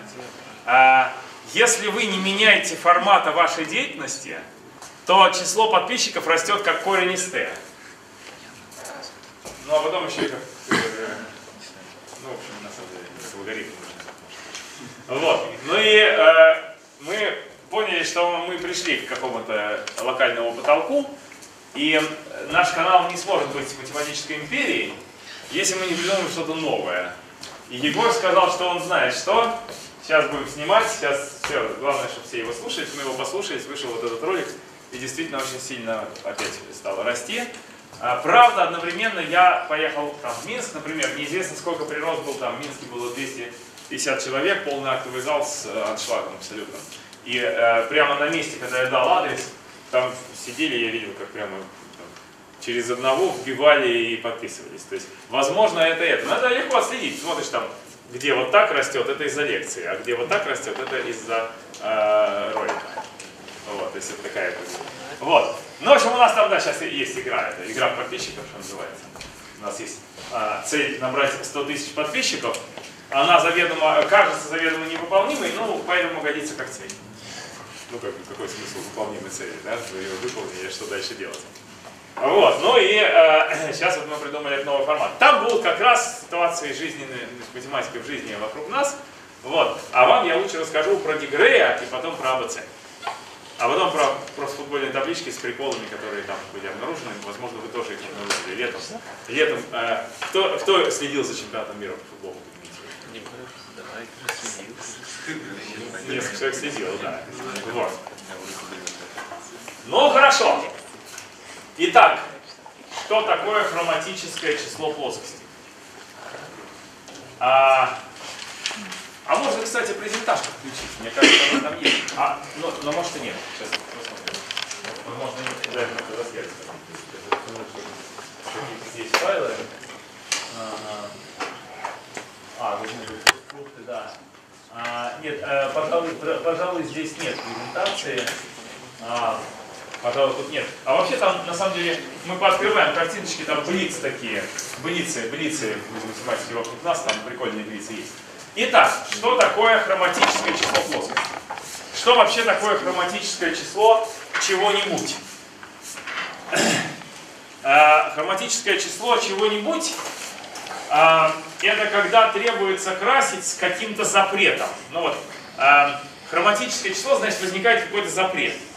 Ну, обычно на графах это означает, что э, если у, картиночки, ну, граф это точки ребра их соединяющие. Вот если два, две точки ребром соединены, то нужно, чтобы они были разноцветные. Хроматическое число метрического объекта это хроматическое число метрического графа этого объекта. Что такое метрический граф? Это значит, что я провожу все вообще линии данной длины из всех точек во все возможные. То есть, ну как бы, из каждой точки я провожу линии во все а, точки окружности вокруг нее. Ну, в общем, это такая, такая получается, вот на плоскости, например, да, это получается такая супер мешанина.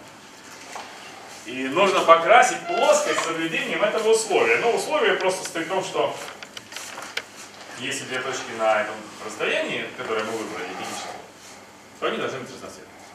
Где бы они ни находились, под каким бы углом это, этот отрезок не висел. Есть точки на расстоянии 1, все, они должны быть разноцветные. Если они не разноцветные, вам двойка и, и конец игры.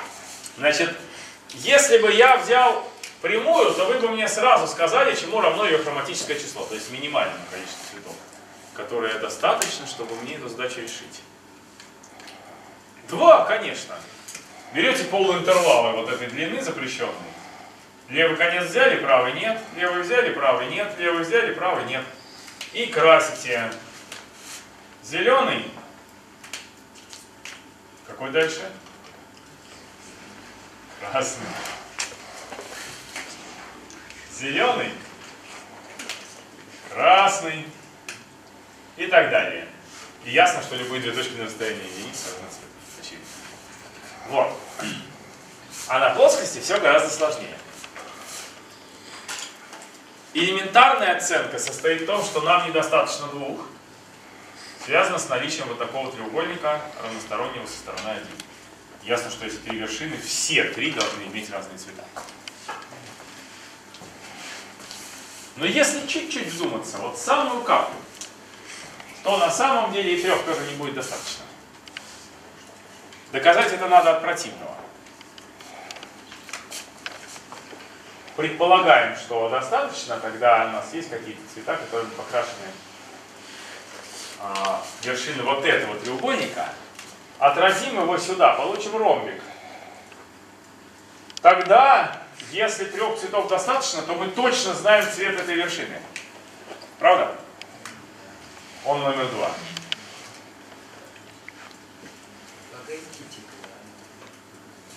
Ну, осталось чуть-чуть до противоречия. Это значит, что любые две точки на расстоянии корень из трех от запрещенного да, должны быть одноцветные просто. То есть корень из трех от запрета дает всегда одноцветный, потому что просто я могу вписать этот самый ромбик аккуратно в них, вот так. И вот через эти две точки все доказать. Эти две должны быть не такого цвета, как этот, а значит это должна быть такого, потому что у нас всего. Но утверждение, что любые две точки на расстоянии корень из трех одноцветные, уже, конечно, противоречит э, сути вопроса, потому что достаточно ну, промотать это вот как бы по вот окружность соответствующей взять, она вся получается одноцветной, но это уже не может быть, потому что есть расстояние равное единице внутри нее. Ну и соответствующая конструкция называется медицину Мозера. Два ромба повернутые на тот угол, чтобы их края были на расстоянии 1. Значит, 4 надо, правда? Итак, количество цветов, которые требуется, не меньше 4. А также можно легко показать, что не больше 7, то есть что 7 вполне достаточно. Для того, чтобы доказать, что 7 достаточно, надо рассмотреть шестиугольное замощение плоскости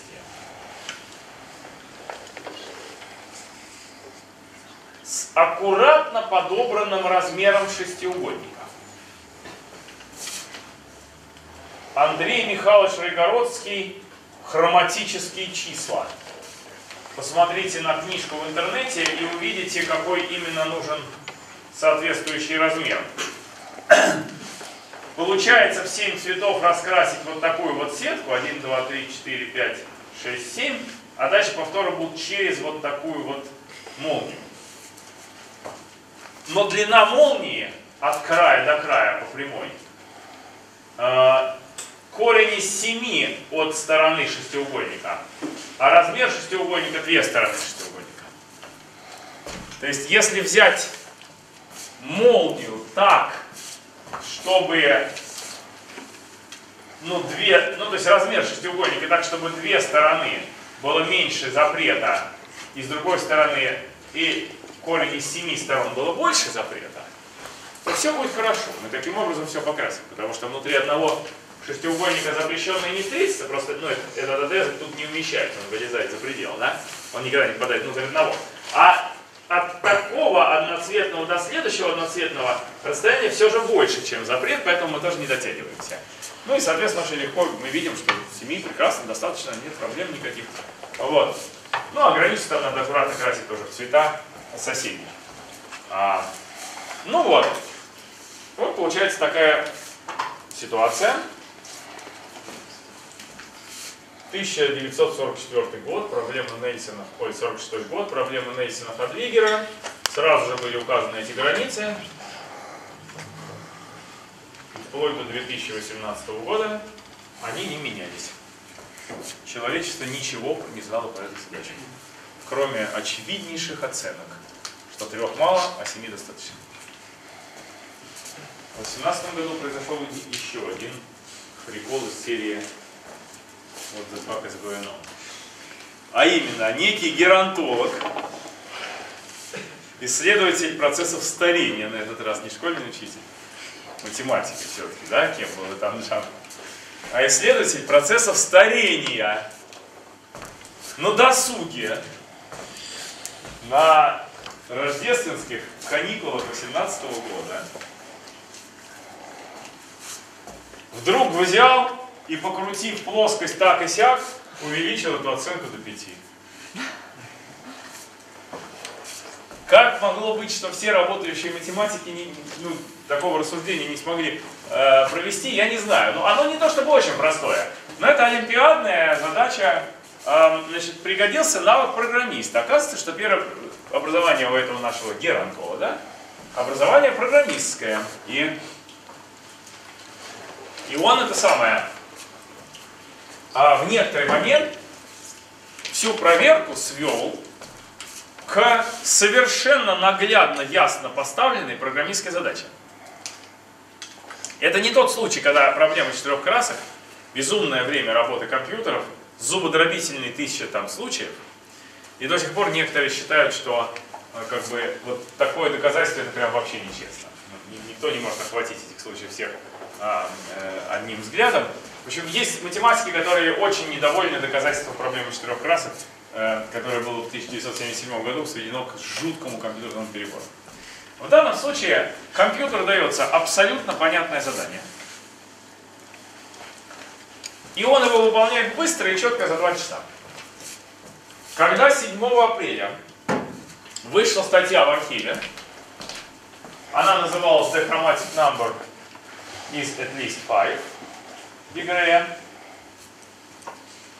В течение одного этого дня около 100 человек на своем компьютере попробовали и проверили. Ну или там к следующему дню 100 человек проверили, и каждый написал, совершенно прав, тут вообще нет ничего сложного. До этого все совершенно кристально понятно. В момент компьютерной проверки понятно, что именно надо проверять, понятно, как написать код. Мы написали свой собственный код и то же самое проверили. И да, действительно, этот граф не красится в 4 цвета. Но все-таки граф уже не детский. В нем 1585 вершин. Потом его спускали вниз количество вершин. На данный момент 553. Я уже предложил в Майкопе, музее математики, нанести на стену а, граф на 553 вершинах дистанционный, то есть у которого значит, вот точечки соединены отрезками, все отрезки длины 1. А отрезки там порядка десятка тысяч, по-моему, или сколько-то десятков тысяч. И он весь влезает на большую, хорошую стену. Его нельзя покрасить. Четыре цвета. Ну и, блин, вот что такое интернет, да? А, в 1891 году Адамар, по-моему, первый, а Ваня Пусен через 4 месяца или наоборот, доказали асимптотический закон распределения простых чисел про то, что плотность стремится к 1 разделить на логарифм n. Плотность распределения простых. С разницей в 4 месяца им обоим зачли правильное оригинальное доказательство. Считалось, что за это время не мог один француз другому его рассказать. 7 апреля 2018 года, в течение одного дня, мне написало примерно 10 человек, слышал ли ты, Саватеев, что хроматическое число подвинули наверх. Одного дня, ну, к восьмому числу, это был десяток точно. То есть все мгновенно, в ту же секунду. Значит, потом еще выяснилось сейчас, сам Дегрей потом написал, что он обнаружил статью, потом уже написанную, двух румын, которые по-другому доказали то же самое, но они не успели ее выложить. То есть э, ситуация такая же. Там была работа даже более интересная, там они использовали какую-то математику высшую. А здесь просто чистый компьютерный перебор с очень тонко подобранными графами и картинками. Вот. Ну и в общем у нас на сегодня вот границы, но дальше пока продвижения нет. Вот прошел, очень много народу кинулось думать, и пока вот ситуация в той же стадии. И я хочу вам сказать, что Квант журнал за 18 год номер 11 содержит нашу статью с Райгородским и Вороновым, Саватеев, Райгородский, Воронов. Фактически это перевод на русский язык и дальнейшее упрощение исходной статьи для школьников. Там прям описано все, как эти картиночки происходят. Вот. Ну что, АБЦ? АБЦ. Ну, в общем, АБЦ наряду с гипотезой Римана это, видимо, гипотеза 21 века. Ам, Это обобщение великой теоремы Ферма. Великая теорема Ферма утверждает, что n степени не могут сложившись дать еще одну n степень, где n большое, ну, начиная с трех. А гипотеза АБЦ вообще утверждает, что существенно нетривиальные разложения на множители, то есть числа, которые получаются путем такого серьезного возведения в степень нескольких простых чисел, не могут складываться в такое же PQ, R, так, PQ, R, альфа, бета, L, S1 в степени T1 и так далее, Sn в степени Tm. То есть, грубо говоря, а, мало того, что просто степени не могут сложиться из 100 степенями, но и какие-то короткие отрезки степеней, перемножаясь, не могут в сумме с такими же короткими дать такие же короткие. Но это, конечно, не формулировка, это невозможно, да, э, считать формулировкой. Поэтому есть какие-то вариации, то есть это дух, вот это дух АБЦ гипотезы. А буква может быть записана разными способами. Я напишу ее одним из них. Одним из возможных способов. Он такой. Не существует. Тройки. А, Б и С больше нуля целых, взаимно простых, таких, что, ну, во-первых, С равно А плюс Б, и если я раскладываю на множители А, вот так, да, Б, вот так, чтобы просто не повторяться, и С вот так, да, если я как-то разложил их на множители, то С меньше или равно P1, P2 и так далее, PR, Q1, Q2 и так далее, QL. Ну, понятно, что они все разные будут здесь из-за взаимной простоты. Не будет встречаться одинаково нигде. Поэтому я все их перемножаю в степени квадрат. То есть, а, напоминаю, что c это s1 в степени t1, да, так далее, sm в степени tm. То есть вот эти степени не могут быть слишком велики. Если бы они были велики, это бы как бы противоречило уже написано.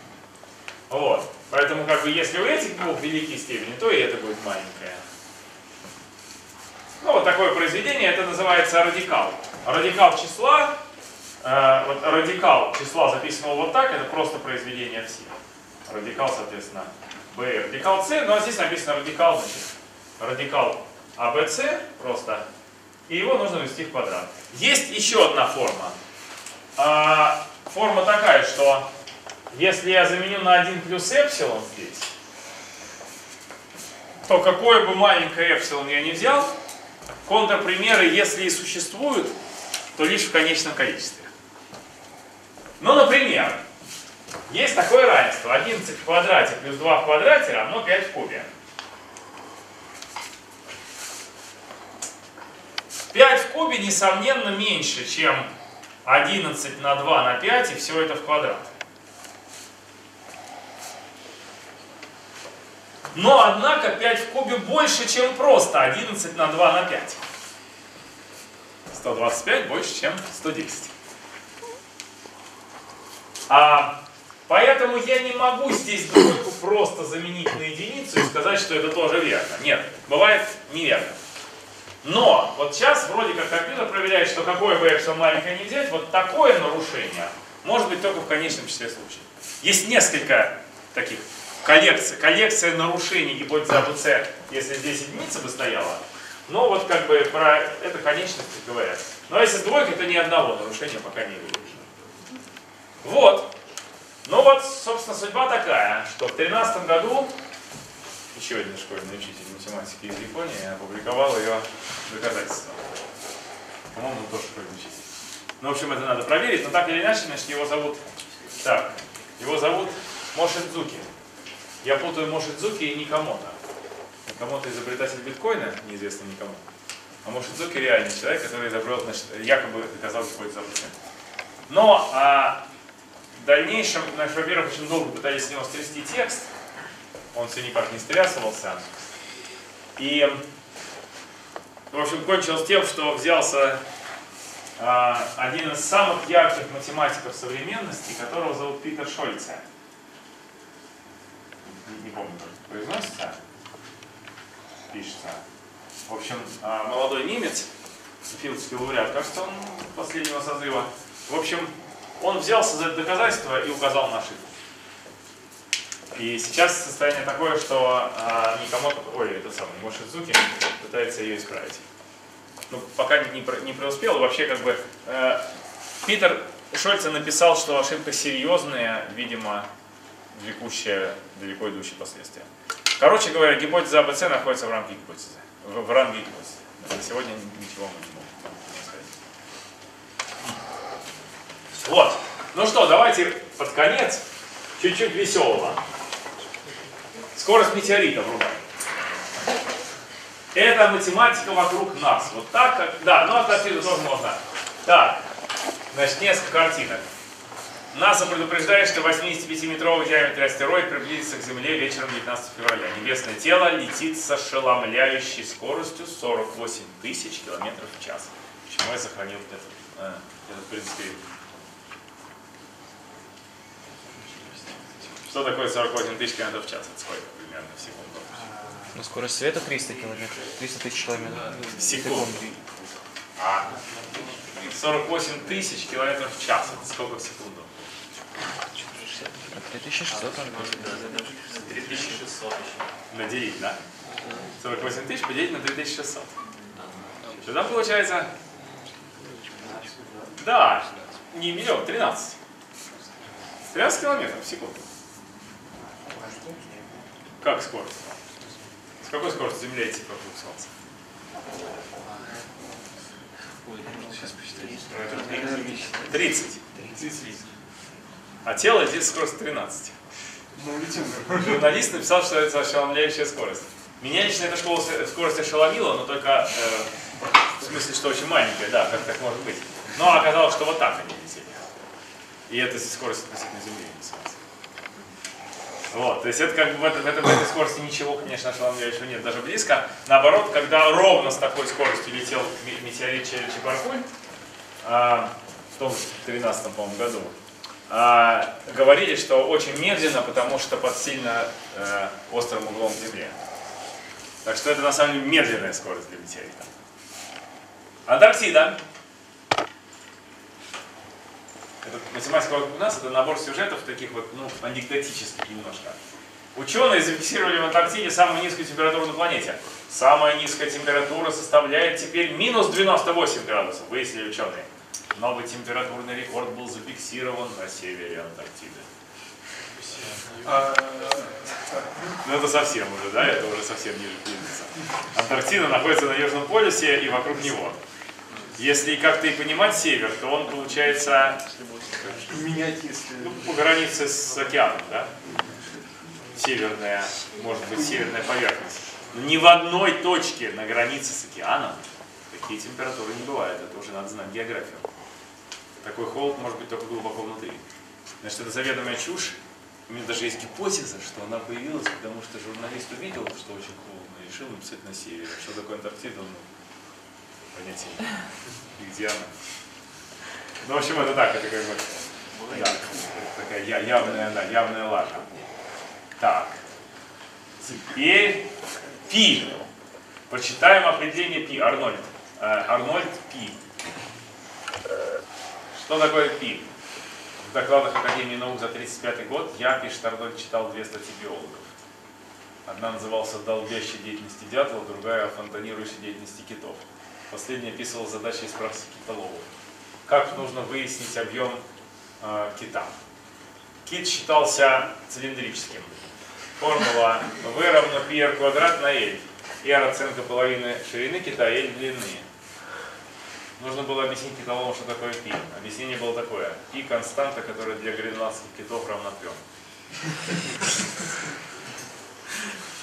Вот, ну это прямо вот из книги Арнольда по, э, по-моему, про циклирование.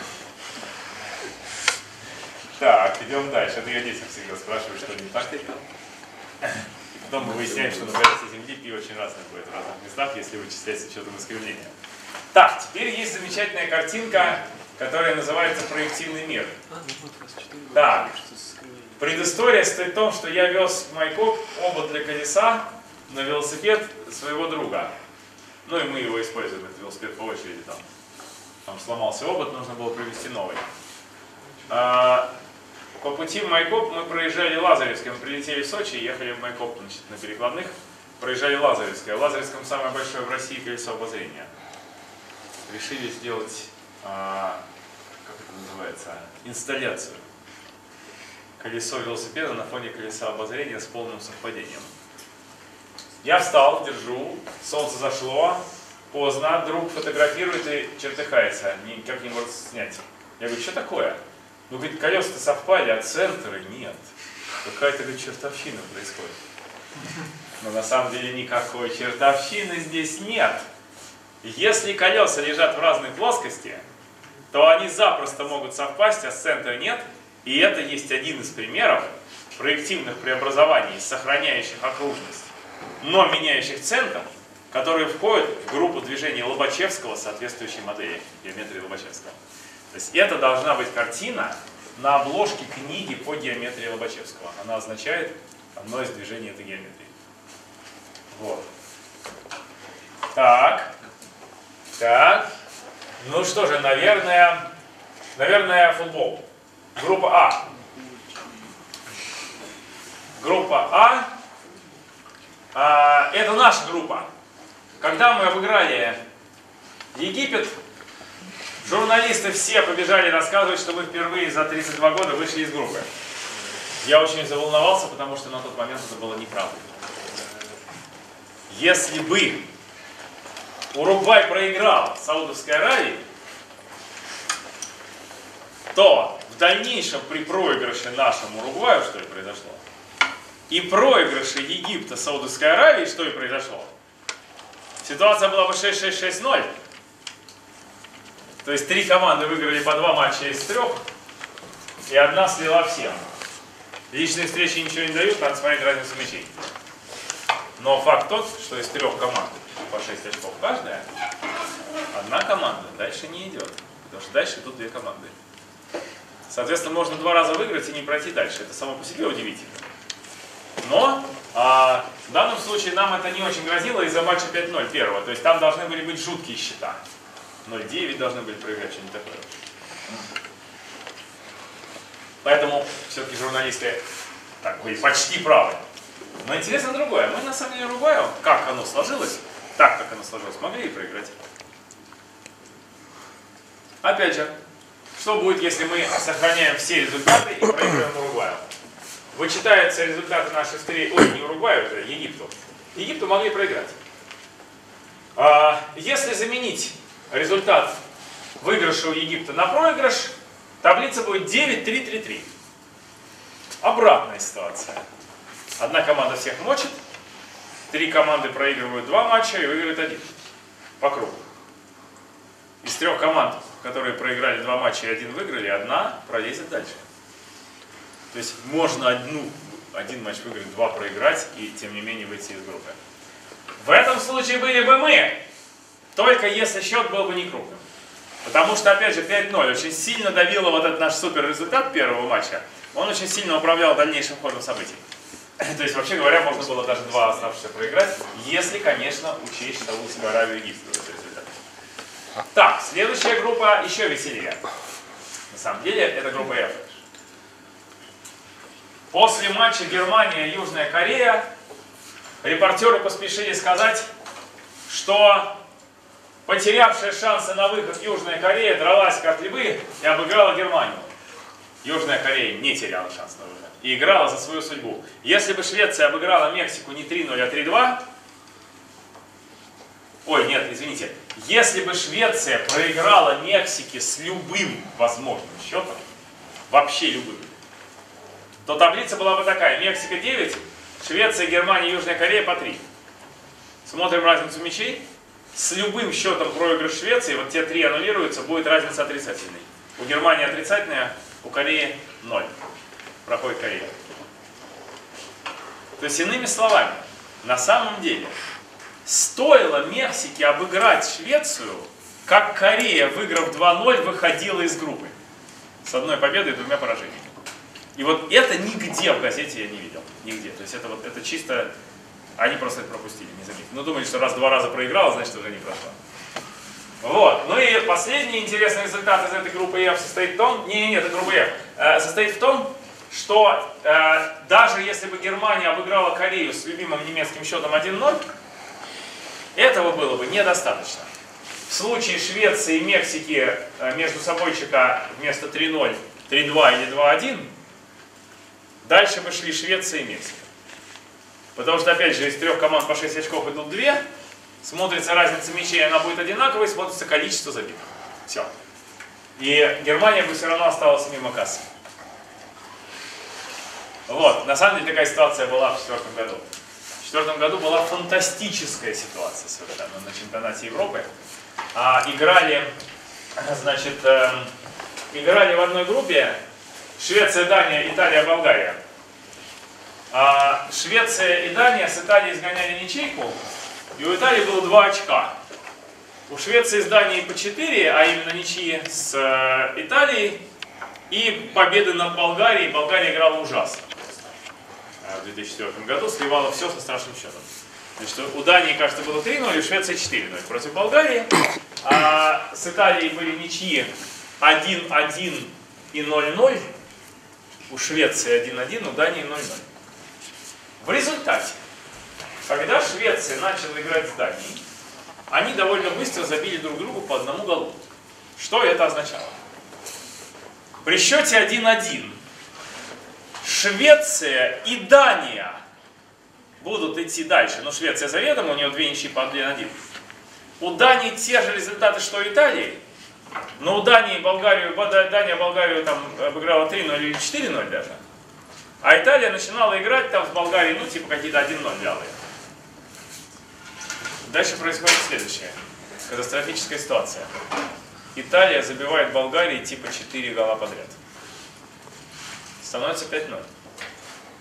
Теперь Италия выходит дальше, а не Дания.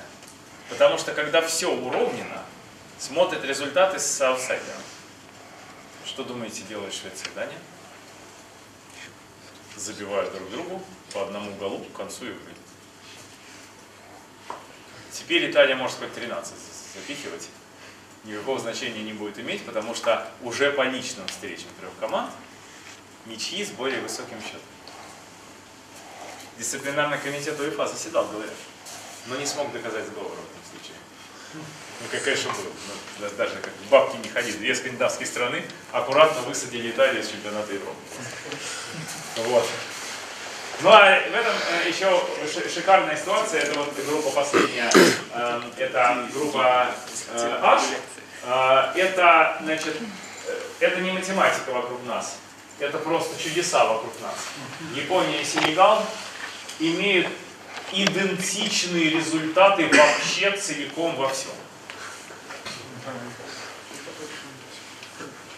Кто выходит? Потому кто с первой команды лучше сыграл. Да.